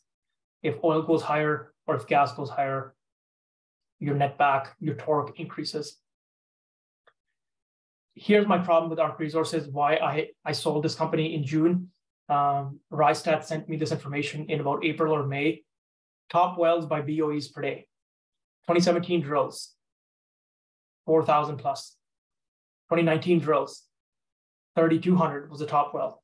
And you can see the bottom is kind of fallen out of the top 10 compared to here. By 2021, the top well drilled by ARC Resources uh, slash Seven Gens in 2021 in the Kakwa Montney wouldn't even have made the top 10 of 2017. Degrading acreage, I bail. I'm very against the Permian. I'm very against Eagleford. I'm very against the Bakken, Marcellus, Haynesville all these shale plays that are seeing degrading acreage, there's a huge cost component to this when cost when we're in a cost inflationary environment. When your drilling and completion costs are going up and your well productivity is going down, double whammy impact. Why bother when there's other companies that have um, fresh acreage with increasing productivity? Why own these names? My that's my investment thesis. This is not investment advice. That's the way I choose to allocate my dollars. And that's why we're waiting for ARC Resources to FID their prolific Attachie, because Attachie is fresh, as I talked about. Huge acreage, not, not that much reserves yet, and they can grow production massively here and keep it sustained for a huge period of time. So waiting on that, it's a huge catalyst for ARC. And in the meantime, the Kakwa wells are still better than a lot of liquids rich wells that are in the area. So the Kakwa Karr acreage is probably the top acreage in the area um, in terms of oil, liquids production, and gas production. So don't don't take this as a as a sign that ARC's acreage is much worse. It it has degraded from a like top 1% acreage to a top 10% acreage. At the same time, there's other companies that are drilling poor quality wells on their sort of top acreage. So um, there's a reason Seven Gens was able to grow as fast as it did, and there's a reason that um, ARC wanted this this asset specifically, um, as opposed to some of the other Montney that's that's that's undeveloped, because this is a cash flow machine. All the gas plants are already built, all the infrastructure is already there. So, still a phenomenal acreage um, that that still has a lot of runway. Um, I'll put it that way. Okay, um, this is uh, Advantage Oil, AAV. You can see the well productivities are increasing substantially, massive. From 2020 to 2022, we see about a 40% increase uh, in well productivity. Amazing. Um, they're also growing their processing revenue. So owning gas plants, you not only decrease your own internal cost, you can process other people's gas and make money off it.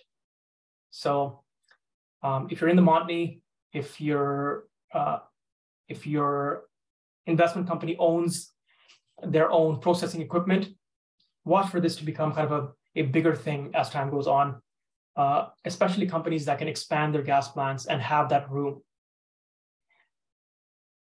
Now, this is something to be very careful of. We see here producing days versus cumulative BOEs. And they have their five different areas labeled on this. Any investor looking at this would say, oh, the Wembley D3 oil is not looking that good, whereas the Glacier Upper gas is looking, uh, you know, solid. Wrong. So because the Wembley D3 is an oil asset versus the other ones are a gas asset, the MBOE, barrels of oil equivalent of oil, is worth way more, which means this bottom line is actually your best paying payout well.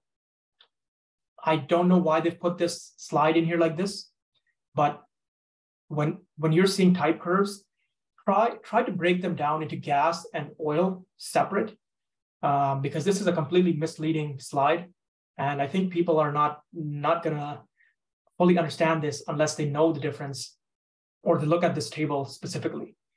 Um, so so just keep that in mind. The Montney has gas, oil, condensate, volatile oil, rich gas, dry gas.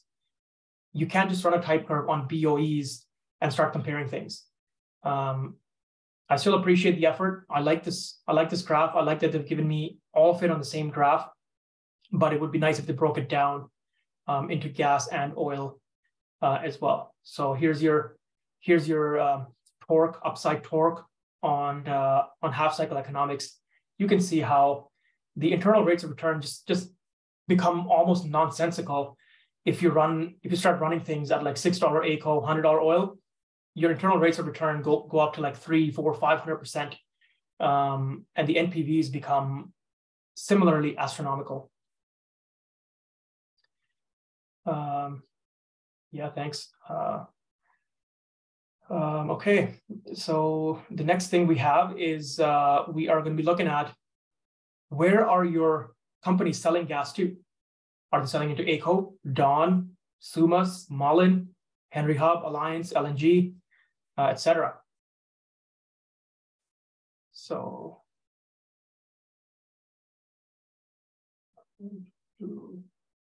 sec here. So, why is this important, and why why do I focus on this? Because most companies will only tell you what their benchmark pricing was, as in what price they got in that specific, um, call it hub. We need to break it down to what the netback was. So if you're sending gas from Alberta all the way to Chicago, it's going to cost you. You're going to pay a dollar twenty-five transportation cost. So if you're running modeling around gas price sensitivities, around uh, how much money they're making at each hub, always take into account the processing, the transportation, and the fuel cost to get to get your gas from there to there, or from there to there. And you may end up finding out that even if AECO is a dollar cheaper than Dawn or Henry Hub, it might have made more sense to sell into AECO because you're not having to ship the gas all the way. Um, so people get confused about this all the time. They say, oh, the Dawn and Henry Hub is always more than AECO. You know, uh, how come we don't just send everything into Henry Hub? Well, because it costs you $1.57 uh, differential. It costs you 31 cents of transportation. There's other factors involved um, in doing that. Uh, okay. Thanks, Dirk. I, I really appreciate this. I'm uh, I, I, think people are uh, are really uh, wanting to hijack these spaces uh, today. So uh, appreciate your help. Oh yeah, I was also going to share this. So I was talking about the frac water ponds earlier. So here Birchcliff has about 50,000 uh, or um, Birchcliff has enough water storage and infrastructure that they've taken 50,000 trucks off the road since 2017. Uh, better for their DCET cost. It's better for their just overall uh, emissions reduction and ease of, of operations. This other statement Birchcliff's liability management rating is 17.27 compared to an industry average of 5.23. Your liability management rating is effectively your assets over your liabilities, your deemed assets divided by your deemed liabilities. Birchcliff is saying that their liability management rating is 17. They also have very low break-even supply cost.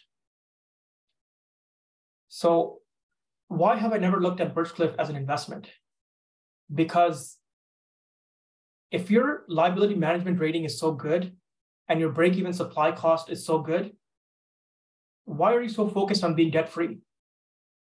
Like why why is that your goal?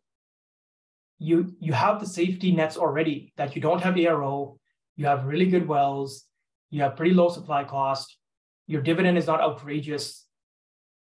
Why are all these companies wanting to go debt free? And I know I'm going to be swimming against against the sort of uh, uh, uh, the wave or the flow here, but I like management teams that can comfortably run a company with a bit of debt, with a little bit of a hard debt component to it. That shows me that you are good at managing the company. You can actually generate value for me using financial leverage. If you want to run a no debt company, you've effectively given up. You're just saying, I don't want to take any risk.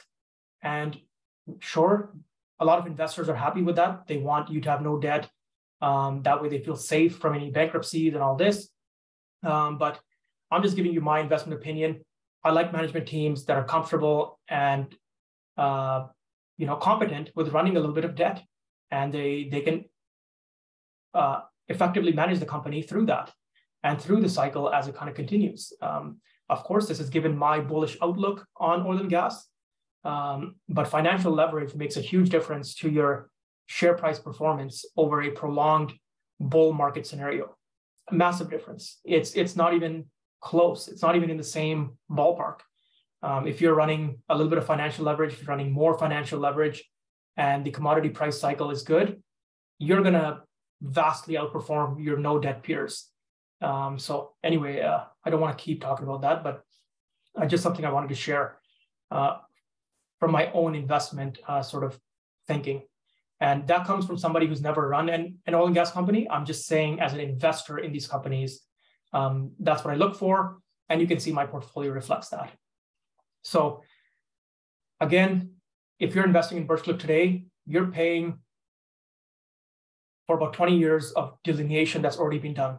You're paying for 20 years of growth that other investors have taken the risk on uh, of doing this. And we're buying companies now that are in their field, full field development phase. Um, not a lot of opportunities like this usually out there because by the time we get here, these companies are so overvalued that uh, it, it doesn't even make sense to invest in them, as you saw in the tech space uh, over the last few years. So um, yeah, uh, okay. Birchcliff's risk is that they're totally unhedged. Um,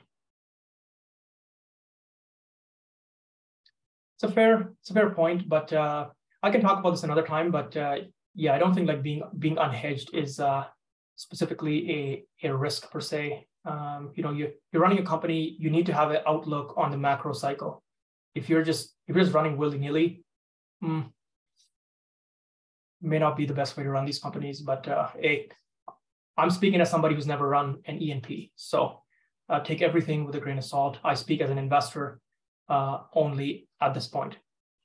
So um, there's a question here on what's my preferred debt to equity ratio. I'd say something like a 25% debt and 75% equity um, should be able to be ran uh, with a lot of corporations. I'm not I'm not advocating for for a 50-50 split, uh, but but something like that I think is is pretty reasonable um, in my perspective. If I'm paying management hundreds of thousands of dollars and millions of dollars in share options on top of that, um, you got to provide value. So here, once again, we see drilling costs going up. We see total cost going up. Uh, Vista is saying 2023, it's going to go up further. So they are comfortable putting this out uh, already. Um, we know from previous uh, experience that the inflation in 2022 came in the second half. Uh, I believe the number that was given to me somewhere was 7% inflation in, in, uh, in, in the first half and 18% inflation in the second half. So the fact that NuVista is only putting a very low safety net here, I guess we'll see how uh, how uh, how true this was or or how accurate this was uh, when we get there. Uh, at the same time, they've done really good at filling up their gas plants. So I've spoken about this in other companies where they have half half filled infrastructure or low filled infrastructure. As you fill that infrastructure through production growth, your operating cost goes down. And that is effectively the same as the oil price going up. So when they brought their OPEX down from $20 a BOE to about 15, they're generating the same extra margin as oil price going from 70 to 75 or 90 to 95. Uh, the GHG emissions, I, I do want to mention this because there's a lot of uh, BS out there that uh, oil companies are polluters and they just you know dump stuff everywhere. Um, I can tell you for a fact in Canada, the companies themselves are beating all the AER requirements and uh, most of the other requirements that come in, they're already there. So companies themselves do a very good job at uh, reducing emissions, reducing frac water dumping, uh, reducing spills, and, and having lots of automation and uh, kind of control as to what happens um, in their fields. Um, you know, before the regulate before the regulator has to step in and and and force things as it is in some parts of the US and worldwide. The Montney supply demand is always going to look good uh, because the oil sands and heavy production looks to be continued to, to rise at about a three to four or five percent rate per year. And we need to dilute it. And therefore, we always need the Western Canadian condensate which comes primarily from the Montney and the Duvernay. So in that way, they're producing a very high value liquids that trades at one to two dollars, sometimes up to five dollars above WTI, and that's US dollars. So a pretty good liquid stream um, that, that that they have uh, that they're selling into. Here is one of NuVista's pads, I believe. You can see the, the modular design uh, with the with the modular, uh, call it inlets or refridges or dehys. You can see the tanks, flare stack. Um, you know, neat, neat little pad here, uh, pretty well built. Ovintiv. So Ovintiv has done some really good uh, execution in terms of drilling speed, laterals, sand efficiency, faster completions, and they have the top wells. So they have the top wells in uh, Alberta slash BC in terms of gas production. Some of them making over 40 million of gas um, I think this is first month rate uh, is what it's giving you. Yep. So just to put that uh, into perspective, 40 million of gas is 6,000 BOEs per day out of one well. So very nice. And that's really where a lot of the productivity gains have helped companies like Ovintiv um, just destroy their competition because of where they are in the basin, um, as well as the top. Uh, some of the top cumulative gas wells as well uh, belong to uh, Ovintiv. Look how, how much better their top well is from the second best well. Almost 60 to 70% better. So um, doing really good stuff.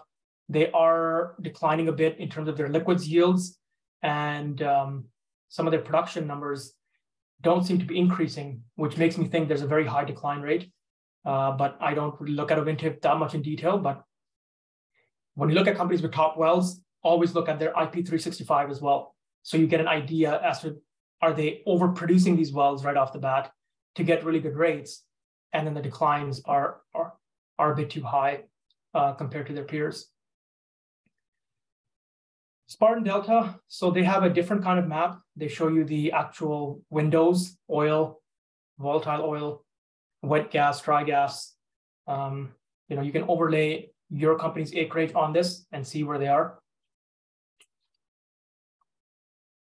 You can see they have some interesting delineation acreage down here. When you run it here, very few wells have been drilled in this area. Same with Flat Rock, where, where a Kelt also is. So if these areas can get delineated, another massive boost to reserves uh, and land value. So you can see Kakwa right here. You can see kind of some of the, the Birchcliff development, um, Shell, uh, Encana, um, or sorry, Ovintiv. And then you can see how Spartan Delta has mostly fresh acreage. And uh, you know, one of the reasons I wrote my Seeking Alpha on them was was exactly this. Um, and they ended up being the top performer in 2022 in terms of share price appreciate, appreciation. So, um, you know, figuring these things out up front and front running the stock, like as in buying it early before the market realizes the, these things, is really what what's going to generate uh, alpha. And a lot of these things are public; they're publicly available. There's nothing that's hiding. You, you don't have to talk to management. It's pretty obvious that Spartan Delta's acreage is um, quite undrilled uh, and and pretty much in the core of the Montney uh, for the most part, especially this Gold Creek stuff, which is really good and has some of those um, natural fractures that I've talked about. You can see how they're completely destroying their type curve. This is a very strong engineering and management team. And I will just go a little bit into detail as to why. Because Spartan Delta has all this acreage, I mentioned earlier, companies with a lot of acreage can afford to widen their spacing. That's exactly what they did. You see this dark green line is 270 meter spacing instead of the 180 and 230 meter spacing, meaning 270 meters between wells as opposed to less. That is going to drive each well's productivity much higher. You can see how they are absolutely demolished the type curve. And I expect to see this continual growth um, and outperformance going forward. It's one of the reasons why Spartan Delta's uh, production estimates are completely fake. They themselves uh, are completely sandbag what they're going to produce. So, um, you know, in in my uh, call it eight times free cash flow model, I have a huge increase in in Spartan Delta production baked in compared to something like a Pipestone or a, um, you know, whatever the the other companies in the area. I'll say. Um, and you can see that, yeah, the oil rate speeding and the gas rate is way higher, way, way higher than, um, than these older wells at lower spacing. And this is all public. They, they put this in their corporate presentation. Um, not, not much work has to be done to figure out which companies are going to outperform their peers within a specific kind of basin. Here's Pipestone. They're also in the kind of high condensate oil fairway, relatively undrilled acreage. You can see they're drilling to the west because that's where the pipelines and infrastructure is.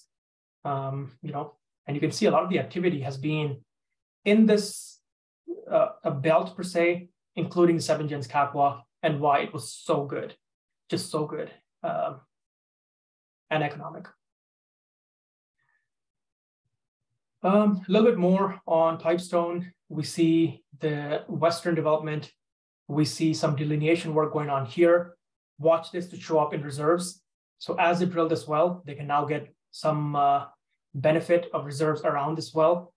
And, um, you know, here as well, and as well as on the east side, you can see how they say CGR on the west, which is condensate gas ratio. On the east, it becomes OGR, oil gas ratio.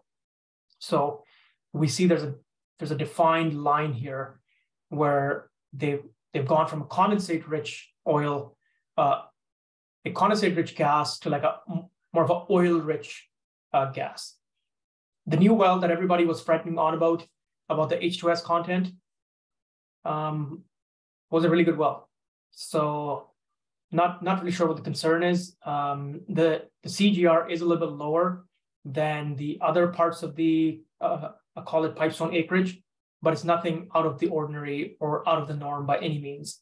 Uh, H2S content uh, can be dealt with. Uh, it's not a big deal. Um, you yes, you have to install amine uh, skids. Yes, you may, might need H2S scrubbers on site. Yes, you might need to batch with, with biocide. Big deal. It's a it's a minutia thing uh, when you have this much acreage that you just delineated and and showed that there's Montney upside here. Um, the other thing is H2S doesn't just come from natural reasons. You could have introduced H2S in the formation by using uh, contaminated frac water. You could have uh, let let something settle there and the bacteria just eats up the oil and creates hydrogen sulfide. So by no means is it a company breaker or anything. Um, just my opinion. I did not invest in Pipestone because I'm not a fan of the management team. Uh, but on the overall, the, the geology looks great, and I I don't see any sort of engineering issues um, at this point.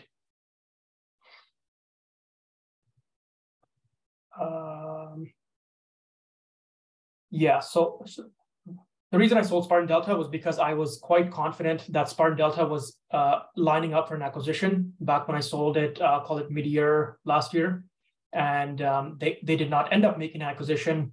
But of, of course, they recently just said we are open to uh, mergers and selling ourselves and all this. So um, that was my indication from from my conversations with management was that they were, you know, looking to kind of prove this thing out and then either build or sell. And I just didn't want to be involved in in that sort of thing. And at this point, Spartan Delta has vastly outperformed their peers. So I see, um, you know, I see other opportunities that are just relatively more attractive to me. Um, Kelt, so nice little land package.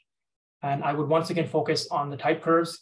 So, so this one is much lower IP rates, but you can see it's 57% oil versus the Pouce Coupe is much higher IP rates, BOEs per day, but it's 90% gas. So just, just keep these in mind. Where is your company's acreage? What is the liquids ratios along with the IPs and kind of run your own, own netbacks on it. Like say gas is worth $20 a BOE and oil is worth $80 a BOE. And then you get a better comparison, apples to apples, between the different Montney acreages.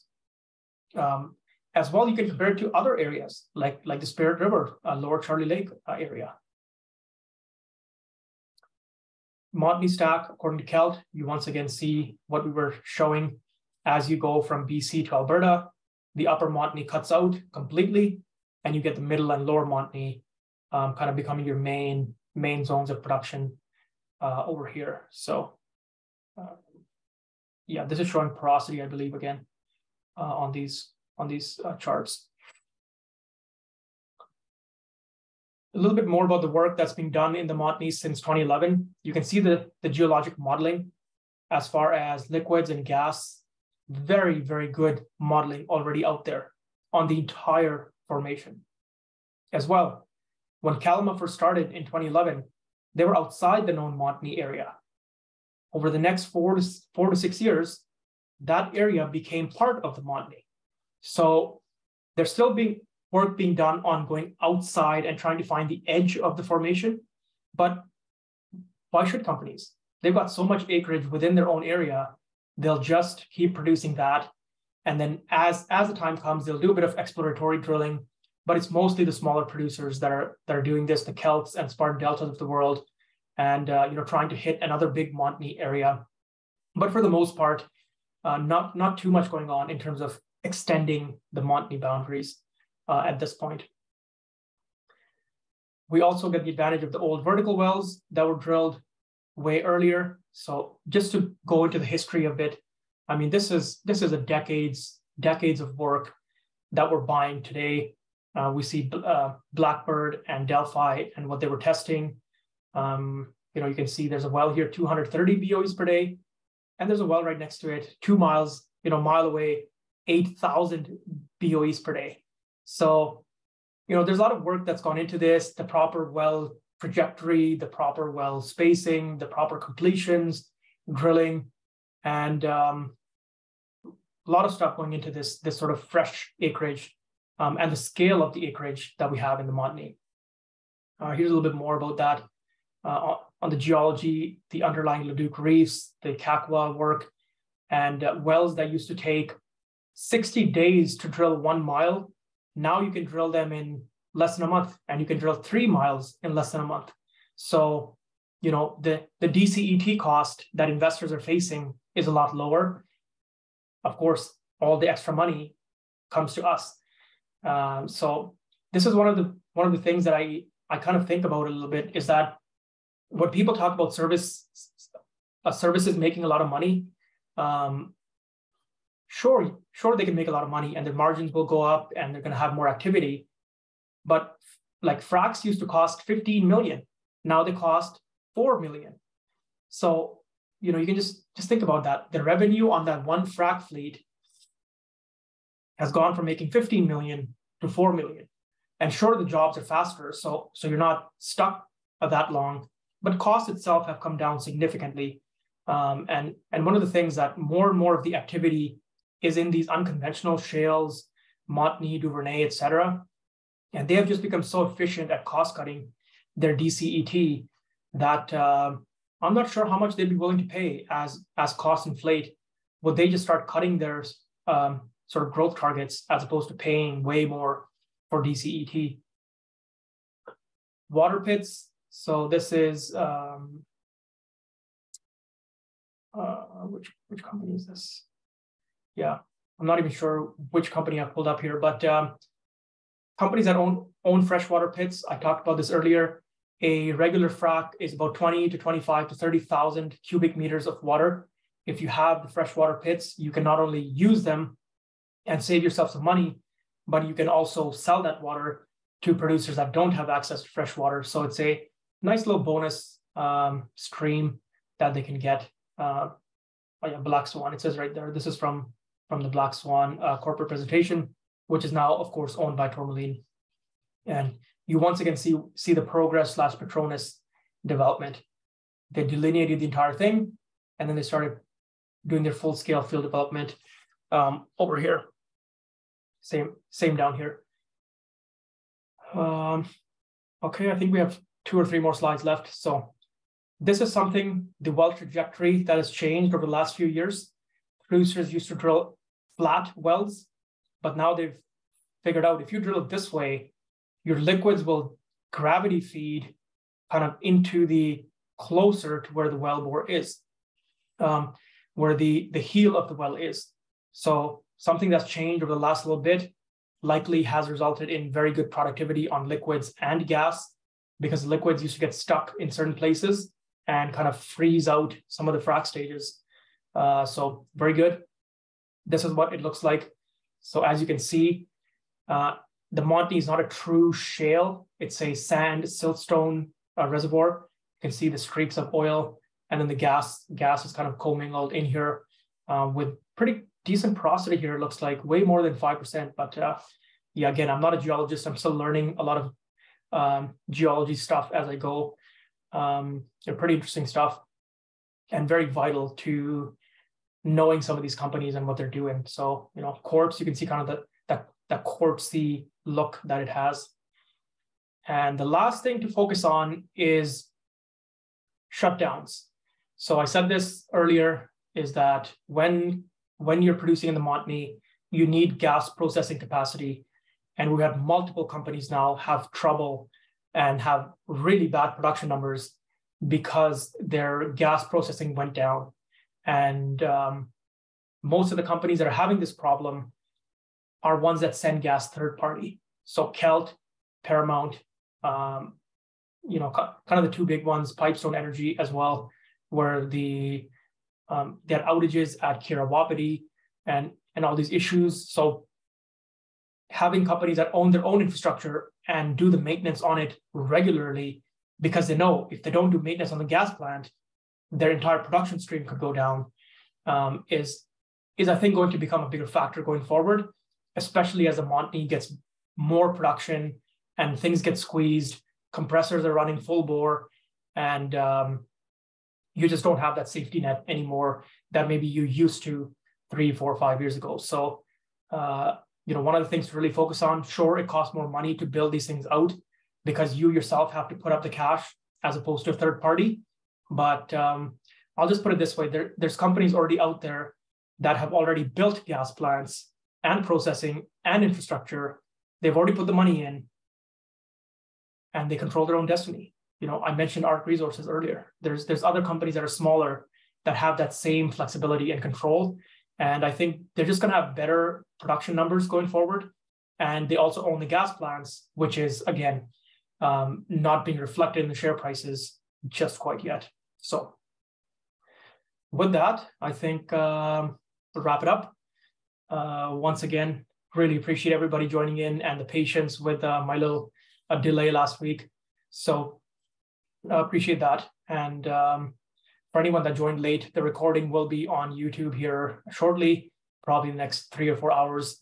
Um, this this uh, this new laptop I bought actually got 4K on it, so I've been really liking the quality that it's been putting out. So um, yeah, I think uh, once again, I think uh, my my email and my DMs are always open for people that are have any suggestions as to future presentations or seminars. This Montney session was suggested to me uh, by somebody else as well, along with some of the other ones that I'm holding uh, in the first two or three months of the year. Um, as I mentioned earlier, I will be updating my portfolio, call, uh, call it midweek, um, mid or late this week, and um, you know look forward to discussing some of the changes in uh, maybe one of the Twitter Spaces or in next week's uh, Q and A session. And uh, yeah, it's been it's been a hell of a 2022 for for oil investors. Um, you know, we had the the initial start to the year, then we had the June highs, then we had a drawdown. At the same time, people who maybe didn't buy in in 2021 maybe got an opportunity to to buy in at, at pretty good pricing, uh, equity pricing in the latter part of last year, and uh, now we go into 2023 with um, some you know interesting companies out there. They have uh, got a year of really good cash flow and free cash flow, and uh, kind of looking forward to see how this cycle goes. And uh, I really want to make make one one point is that, and I said this at the beginning of the presentation, is that oil companies are are not are not you know like a typical business that okay i'm going to open a coffee shop i can open it in six months. Like it's not like that. There, there's an iterative process to it and there's volatility around that there is obviously the macro cycle that that that dictates a lot of things as to what the companies can do but um, you know going out and taking victory laps both ways either you made money or you um, you know you're you're making fun of the people that that didn't sell in June or whatever. Victory lapping both ways over a six month period um, is doesn't really mean anything. You're just wasting your time, to be honest. Um, especially because a lot of these companies have gone through a six or seven year down cycle, so they're very hesitant to really go out and and do a lot of money spending projects. They're hesitant to capitalize their projects.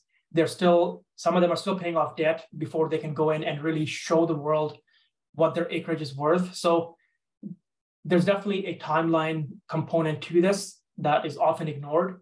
And um, you know, at the end of the day, it's it's whether you have that sort of investment timeline or not, because um, it's going to take time. Uh, nothing in here is going to be done overnight, especially in a high inflation, uh, high supply chain issue environment. Everything is going to get take time. Everything is being delayed and uh, things are coming in slightly over budget in in certain cases and uh, just the nature of the game i think uh, you know a lot of a lot of people may be new to the oil sector and uh, you're you're kind of getting frustrated or or losing patience and uh, you know i'll tell you i've been in this for for about 10 years now and uh, the the goal always was that hey when the cycle comes you always get a chance to make huge sums of money and um, yeah, I I believe we're in the cycle now, and I'll I'll share more in my uh, macro update here next week. So um, yeah, thanks again. So we'll do some questions here. There were some earlier questions that kind of got missed because somebody was uh, sending a bunch of spam. So if you can just uh, resend those, I would appreciate it. Uh, Pieridae, nothing really to add on Pieridae. Pieridae is a company that's very exposed to gas. So if you're buying, like if you're buying a, a pure play gas producer, it would come into those peers. They, they have very little oil uh, production per se. Even even though they do, it's very sensitive to gas pricing, and AECO pricing has not has not been doing all that great. Um, the only thing I can say is that Pieridae trades at about one seventh the valuation uh, that Tourmaline does. So now you can say that um, you know Pieridae is junk and all this, one seventh the valuation. It's up to you to decide whether that is accurate, whether that properly puts into account the increased risks of buying a smaller company, uh, a high ARO company versus a Tourmaline, I cannot give you an, an answer. There is no like cheat book that says, oh yeah, something's trading at this much cheaper, then it's a buy. It's it's up to your own interpretation. I can just give you the facts. One seventh the price. Um, is Advantage one of the companies that had built infrastructure? Yes. Yeah, the Glacier plant is a 400 million standard cubic feet plant that also processes third party um, revenue. And it's also great because it once you own your gas plants, you can make deals around carbon capture, around waste heat recovery, uh, around uh, modular design, upgrades, etc. So companies that own their infrastructure effectively control the other parts of the uh, value chain, call it as well. Blueberry First Nation thoughts. I don't really have any thoughts. Uh, your share prices have obviously spoken. The market has spoken that it was a nothing burger. I still think there are significant headwinds to um, call it full scale field development. There are going to be delays.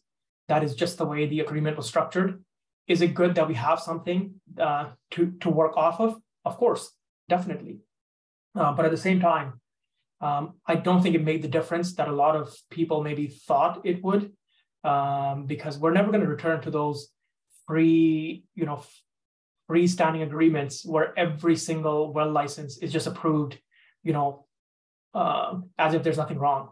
We are probably never going to return to that in the oil and gas industry. There, there's going to be pushback on a lot of things, um, but it's good to have an agreement in place. Um, keep in mind, we're about 15 to 18 months delayed on when the agreement was supposed to be signed. So people have already lost patience and now they don't know what the delay is going forward. Um, that being said, I will be completely clear. I did not read it like all in detail and discuss it with anybody um, because I I don't buy companies that are exposed to this problem. So I it's it's a very legalese issue with a lot of deep um, kind of rooted problems that may re-pop up. And I, I for the most part, um, just refuse to invest in in any companies that are call it majorly affected uh, by this. Yeah, you bet. No, thanks. Thanks for joining. It's always it's always fun. I mean, this this is what makes it fun. I was almost uh, feeling, you know, hey, I haven't done done a session in uh, you know two months now, two two yeah, just over two months now. So so I really wanted to get back into it. And then last week, you know, just wham, last minute I got I got slammed with this thing. So uh, glad to be back, and uh, I look forward to sharing more here, along with Twitter and Spaces and everything else. Um, as far as the Saturn Ridgeback analysis, I haven't had time to really go through it in detail, so I don't want to make um, huge, like any sort of uh, strong opinions. What I will say, and I've said this before, uh, I believe on a different space. In 2012, growth companies were trading for eight to 10 times cash flow and $100,000 plus per flowing barrel. That was the metric that was being used. Um, so when people are now trying to tell me that buying something at three times cash flow is a bad deal, um, justify it. Go ahead. I'm very happy to jump on any space um, and have a back and forth discussion. But if your bear case to me is that, oh, oil companies will never get re-rated ever again, that argument holds no water because you unless you travel back from the future and you're telling me this, um, you, your opinion is the same as mine. We're we're just arguing over what could happen. So I'm telling you that oil companies used to trade at these multiples, and when people believe that oil is in a oil scarcity environment, and um, you know for the foreseeable future, companies will once again trade trade at those multiples. Is it going to happen in six months? No, it's going to take a bit of time, especially with a lot of the the way the money the money allocators these days can't invest in these companies yet. Um, there's kind of a gap void that needs to be filled. But uh, I'll put it this way: people always want to make money, always, no matter who it is. As soon as money enters the table, a lot of other things go out the window. And uh, the oil and gas industry has shown now for three years, well, two years, let's say, the 2021 was market matching returns ish 2022 absolutely slaughtered the market. nothing was even close. Like nothing, no other index was even close. Uh, so 2023 now, if oil can start to outperform again for call it you know part of the year, uh, people will start to pay attention. So, um, so yeah, when when when Saturn bought Ridgeback, call it you know 17,000 BOEs for 500 some million, uh, call it 30,000 flowing barrel. Even if they don't have the inventory runway that uh, maybe some of the other deals out there did, uh, I just like deals. I just like deals at, at sub three times cash flow, you know, sub four times cash flow. They're all good deals uh, as long as you're not buying shale. So I will caveat that. High decline shale, if you're buying high decline shale with low inventory, um, yeah, I I just don't even look at those companies. Um, yeah, you bet. So so I got a lot of questions on this uh, 88 energy uh, that I added to my personal portfolio. So again, I'm kind of going to be swimming against the a stream here. So um, Alaska has huge reserves of oil, not just in the North Slope, but there's an actual NPR, National Petroleum Reserve, that the US maintains in Alaska, uh, where ConocoPhillips is doing their Willow project. There's a Pikka project, um, call it 100,000 barrels per day plus projects that are coming online. Um, the problem with the NPR is that it's an environmentally sensitive area. So even though it's a petroleum reserve, um, as far as drilling and whatnot, it's it's just in a very environmentally sensitive area. There are two companies um, that are that are kind of have huge assets and are um, delineating assets right on the Dalton Highway. The Dalton Highway being the highway that goes up uh, through Alaska uh, all the way to the to the north um, uh, north slope. And on the Dalton Highway, you have the TAPS, the Trans Alaskan Pipeline System.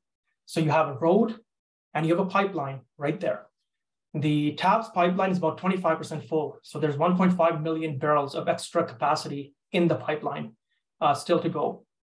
And our company's going to find something, you know, maybe, maybe not. But there are two companies, 88 Energy being one of them, that that's really spending time there um, to to delineate to find what's happening there. And uh, I'll put it this way: Pantheon's result was a success they got out of 0.75 mile of lateral, they got 500 barrels per day of liquids and 2.5 mmcf per day of gas. Yes, you're flowing, flowing into flare, so the numbers are, you know, over uh, overdone as opposed to flowing into a pipeline. But at the same time, that's about a third the length of shale wells in the Permian, and they made 500 barrels of liquids and 2.5 mmcf per day of gas. Early shale results were not close to this. Early shale results in the Permian um, were costing a lot of money and they were not producing at, at these sorts of rates. So now, now that there's companies trying to delineate stuff in the in the sort of Alaskan basin, I think there's a lot of shale potential there. Um, don't forget, Prudhoe Bay is the largest conventional field uh, that's that's been discovered in the U.S. And I think I want to say, yeah, in North America for sure. So there's a lot of potential. Um, companies have spent decades trying to find this acreage, and the first well result proves there's not only a working petroleum system, but they can actually produce it uh, free flowing uh, on its own um, at really good rates. Now, that's on a 0.75 mile lateral. Shale wells are two to three mile laterals. So once once the development gets to that point, um, there's a potential that this acreage becomes kind of like the early Permian, um, early Permian when everything went crazy. Stuff started selling for hundred thousand uh, dollars of flowing uh, per acre, forty thousand dollars of flow, uh, sorry per uh, per acre. So are we early? Yes. Is Pantheon's corporate structure good? No. That's the reason I avoided it. That thing is diluted all to hell. There's there's no value left in that company because there's so much dilution they don't have money. They they don't really have the money to even drill another well. So I said, okay, I'll buy the company right next to it that has no debt. It has very good acreage. It's in the same SMD uh, shelf margin um, shelf margin delta uh, acreage, and um, we'll kind of see what happens. That's that was my uh, play there. Um, when the well results uh, came out, I was very happy because uh, those are exceptional well results. The company Pantheon itself is uh, not a good investment um, just because of the way that, that the, the, the share structure is. Um, but I'm willing to take a bet on this. Uh, I did a lot of research into the, the geologic upside, um, not just the SMD, but the other basins on top. And uh, as well, I like the fact that um, you know they're they're on the highway. They can drill year round. Unlike other parts of Alaska, they can build gravel pads and drill and produce wells year round. And uh, 88 Energy will be drilling their their next prospect here in uh, March or April. But um, yeah, and it's down 75% since last year. So it was a speculative play on a geologic um, phenomena where a different company is spending all the money to delineate it, and I can have the chance of finding something not as big as the Permian, but as productive as the Permian, and definitely with scale, which uh, is going to become quite valuable to the US uh, as the Permian shows its uh, kind of last signs of growth. So uh, that's that. I will have an Alaska focused session in late March, I believe. So I will discuss everything in more detail. Uh, but because I got so many questions about this, uh, I think this question warrants um, a little bit more of a detailed answer uh, as well. And, and I'll give everybody full disclosure. I bought this at about uh, 0.0062 cents. So um, yeah, that's my full disclosure uh, statement there. Uh, Saturn's acquisition, yeah. So I just talked about Saturn. Yeah, um, it'll be interesting to see how well they do in the Montney and the Cardium. They've had some drilling failures in southeast Saskatchewan, uh, but also a bunch of successes. So it's a new management team. They're not really oil guys. So yeah, we'll see how they do. I um, uh, you know, I think the market is fully willing to give them a shot, given that they already trade at a discount. So, I mean, you know, give it a shot, and if you can prove it, then the market will uh, respect that and value you at a higher valuation. Uh, the one thing to note is that the June warrants likely are going to expire worthless. So it takes out a lot of the big headwind uh, in terms of dilution that this stock had uh, on its head, especially with the increased share uh, share count now after this transaction. Uh, what are you seeing in oil service market trends? So rig rates keep going up. Equipment rates keep going up. Labor pricing keeps going up. Are service companies that capturing that extra margin, I don't know. And that's why I don't invest in services. Um, the easiest services companies to evaluate are offshore oil drillers because they tell you we have a contract at this price for this many years, and you can literally run that number um, for, for all their drill ships and rigs and then say, okay, well, they don't really have that much cost. Like, like the cost is already a sunk cost to build the thing. And um, and yeah, and now that it's built, the operating cost is relatively lower um, compared to, let's say, the margin on a onshore driller or a fracker, where it's very difficult to, to know what the internal cost structure of the service company is quarter to quarter and and how it goes up and down. It's it's, it's very difficult to model um, that. So I've generally been staying away uh, from that. Um, so any news on PPR? So I'm on a restriction with PPR right now. I'm um, evaluating an, an asset um, in the data room. So I can't speak on PPR, unfortunately, um, at the moment. Um, what Montney producers are you in? So, so for me, I, I, I like Crew Energy because Crew Energy has best reserves, the best undeveloped land acreage, uh, some of the best gas uh, like gas plus oil um, optionality. They have tower and they have Groundbirch, pure gas, pure oil, and then they, they have everything in the middle. They have a huge Manias acreage uh, that's that's yet to be sort of delineated. They have one of the best management teams. They have the best board of directors uh, in the Montney, and uh, they trade at a relatively low multiple. They maintain a bit of debt, which I like. It's termed out to 2024, and um, yeah, if if anybody can make a case why I should be in a different Montney name, I'm all ears. Um, yeah, thoughts on Journey. I, I don't really have any thoughts. Um, I like the fact that they're expanding their power gen. it's a really, really good idea. Uh, the Alberta gas market has gone completely messed up. Um, the Alberta electricity market has got completely messed up because they shut off too much coal too fast. And so when the load gets higher, the, the power price just spikes. They don't even have the coal plants now to like start up in case of emergencies because they, they literally demolished them or converted them to to um, to gas turbines. So I I really like what uh, what Alex and team are doing there. They have the water floods, uh, of course, going, and they've recently drilled some pretty good wells. So uh, hey, you know, I like I like those kinds of management teams that just get it. They're willing to put their own net worth on the line, and they understand the engineering and the geologic upside of these um, long life, low decline reservoirs. Uh, did you comment on Surge? Uh, I don't really have anything to comment. I did a technical update in November that covered a lot of things and my latest uh, sort of comments. And yeah, I still got my position and nothing really. It's going to take a catastrophic thing for me to sell my surge at this point because the they trade so low on a free cash flow multiple and then on a net asset value plus undeveloped land multiple, they trade really low.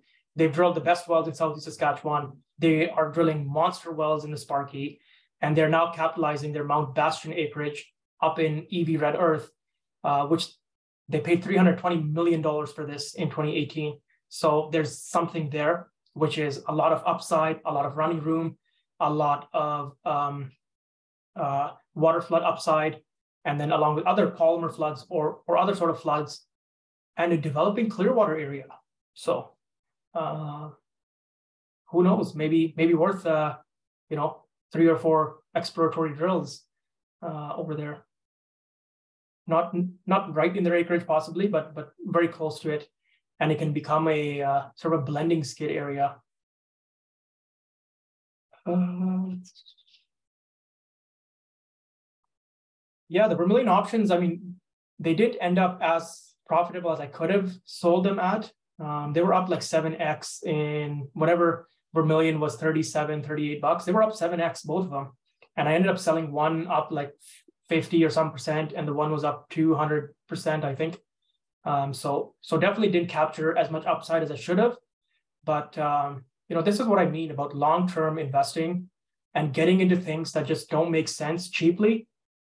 It's hard to go wrong. Like the the downside on them is relatively low uh, and you know like everything that went that could have gone wrong with with vermilion went wrong from september to december everything went wrong and still ended up on a you know with with really good gains on those options. So um yeah i feel the same about about junior companies and everything else. Is just like buy things cheap and the macro the macro doesn't have to even work out. It just has to not completely collapse. And uh, over a over a longer time frame, the investments are going to work out really well, and they're definitely going to outperform against uh, their peers, and they're going to outperform. Well, it's not even a question; they're going to absolutely destroy everything else in the broad market. So, um, again, that's my my view. Uh, was there any update on Westcan? So I shared my thoughts on the Twitter thread that I put out. Um, when was that? Yesterday or or two days ago and that's kind of the latest I have. I am still looking to do a kind of a full analysis on the well, figure out what exactly happened here. Um, my belief is that drilling right on top of the existing fract well was probably the reason why we're having a lower uh, oil rate. The water rate has always been high. The Rex wells that Westcan fracked both have 75% water cuts, so nothing new there. Um, but the oil rate um, is lower, definitely.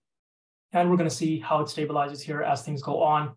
Um, when you leave multilateral wells shut in, especially right on top of a frac that it could have communicated with, um, you know, there, there's just too much unknown right now. Um, as I've said, management is is absolutely atrocious at giving out the proper information.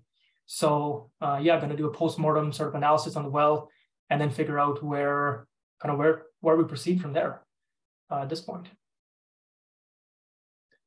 Okay, I think we're like three, more than three hours in, so I might uh, cut this out after these questions. So do you have opinions on OBE and CPG? Uh, I like Obsidian. I, I really like Obsidian. It is a got lots of optionality. It's got lots of tax pools. It's got uh, upside on the blue sky Clearwater acreage, and they've got financial leverage on that, and they're growing. I mean, what else could describe a perfect pick in a bullish structural oil market? That's that's exactly what you want: heavy, heavy oil, high netbacks, uh, good oil weighting, and uh, yeah, name that I continue to hold. And I bought options on this in my personal portfolio update uh, as of um, two weeks ago or so. So yeah, Crescent Point, I don't I don't really have much to add. Um, not sure I'm really on board with how how aggressive they're going in the Duvernay. It's pretty hard to make money in the Duvernay, and the well costs are skyrocketing. So if Crescent Point didn't have the Duvernay and they were trading at, at like a similar multiple, I would be quite interested. Uh, but but given where they are, given what they paid for for Paramount's Duvernay acreage, uh, not not a huge fan of, of getting into Shaley plays like that that have a 90% year one decline. Uh, yeah, 80 to 90%. It's it's tough to get out of your own hamster wheel doing that. Yeah. I don't invest in any oil field technologies. I'll just be honest. Like uh, because I used to run run these technologies, I used to myself use them on my fields, and 95% of, of them are snake oil. They don't work. Um, and the other 5% that actually work never get the approval from management to actually install them. So yeah, the oil field moves very, very slowly um, in terms of like the legacy assets and getting them up to speed. On new assets, they move very fast. They're using state of the art automation and technology, but on legacy assets, um, very, very, very slow procedure. So I've mostly been out of that, but uh, I appreciate the uh, the information there. Uh, no, no updates on Avila. That was always going to be a two to three year story. I was hoping they'd get the Northeast BC gas up by now, but they haven't. So honestly, still waiting. Nothing, uh, nothing of substance to report. Uh, coelacanth, nothing much to report there either. It's it's it's again a two to three year story. Like by looking at one well result, is not going to give you anything because the company is already valued very richly as if they're going to go and grow much higher. So uh, not not much to share there. Uh, I don't think Vermilion is going to buy coelacanth right away. They're going to wait for them to delineate it and do some work, build some plants, um, because Vermilion has their own acreage. Like why why go in there? But but they've definitely t- taken a big stab at it with 60 something million shares so that nobody else can come in and buy it uh, when the time comes. Yeah, I did sell my ROK Rock Resources around, uh, I think I sold half around 50 cents and I sold half around 44 uh, cents. So um, it did its job very, very well. Great management team, phenomenal. Um, but it did its job. I needed a a junior that could hedge me through June to December. Um, and it did exactly that. And now I don't like the hedges going forward. Um, and I don't I don't like companies that are going to be doing lots of acquisitions. So I've got out, yes, but phenomenal management team and lots of upside uh, in in that name for sure. Uh, and still very undervalued kind of versus its peers, even though it's had a run. It's not really trading all that expensive. Uh, yeah, and that's even with the warrants all being exercised.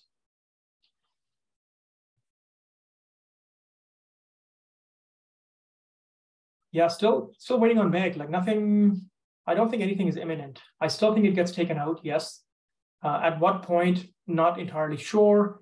Um, one of the things to, that I recently learned about Meg was that they actually had reserves booked for Surmont, and those got taken away uh, I think it's after five years, reserves get taken away if you don't develop that acreage. So there's an extra, I think 500 million barrels or something of reserves that got taken away uh, from Surmont. So I, so that's a possibility if uh, call it you know another major or even ConocoPhillips wants to go in and, and really buy out that entire Surmont package.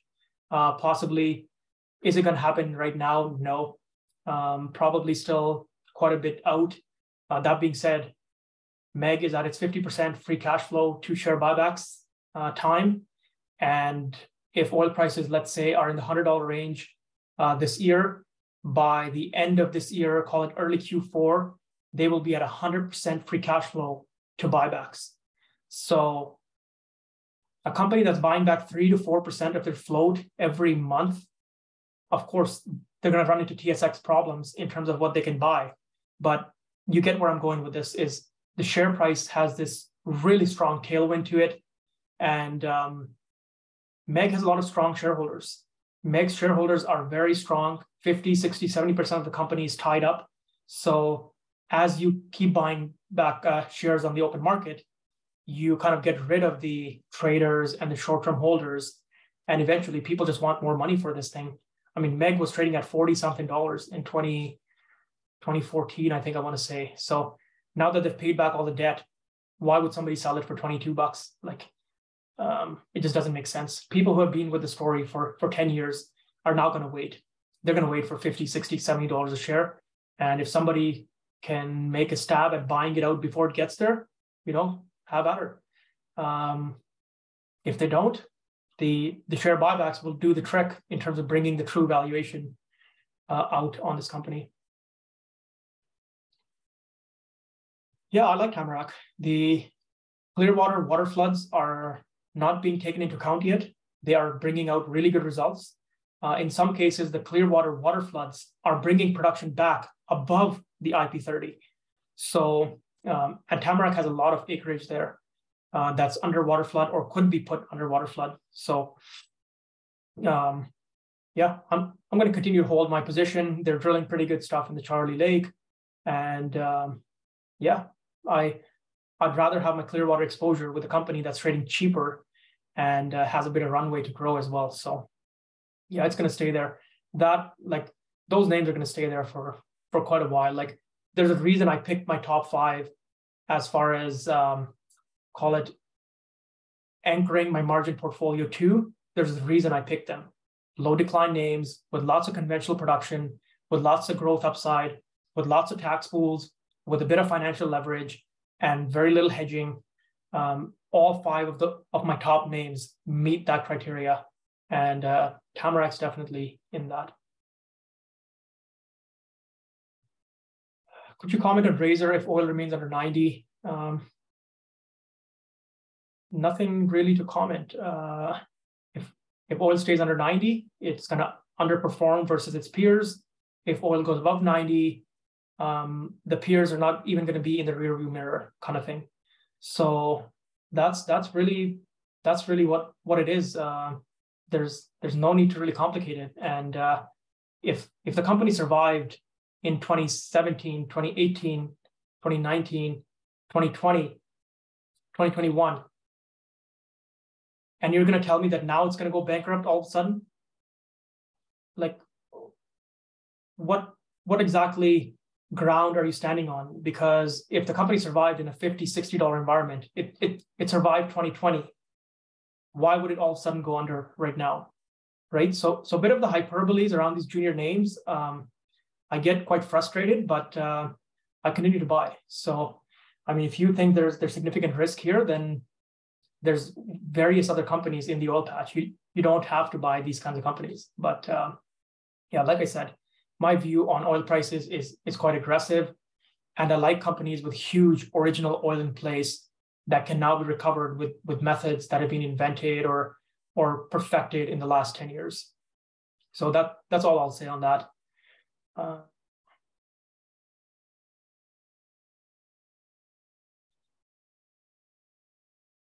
yeah, there, there's no dry gas zone in ARC's Kakwa acreage, but um, they still continue to drill good wells. It's just the wells are not going to be as good as they were. So, um, yeah, the Kakwa is still one of the top acreages in the Montney, if not the top um, little little pool there, if you will. So, yeah, and once they decline, they just decline. Like look at the Eagle Ford, look at the Bakken, and run the the production curve on it. that's exactly what's going to happen to Kakwa. That's exactly what's going to happen to the Montney. But it just depends the shape of the curve. Is it going to be that curve that I showed on the Barnett Shale, uh, or is it going to be the curve that Hammerhead put out, where they maintain 30 years at 60,000 BOEs? So that's really all that matters. Uh, Cenovus, huge free cash flow should be coming. Um, yeah, I haven't really been following Cenovus that much, um, but yeah, I think they're they're kind of getting there at this point. Yeah, um, if they don't change their debt target, moving goalpost again. So uh, yeah, just be careful of that. Uh, yeah, once again, I already already spoke about Pieridae. Not not much to say. It's it's a very high, highly financially leveraged name. So please do your due diligence on that one for sure. Uh, yeah, I've got a presentation on that as well. Why are you avoiding Vermilion? I'm I'm not avoiding Vermilion. I'm actively looking at the options. They are too expensive at this point for me to enter them.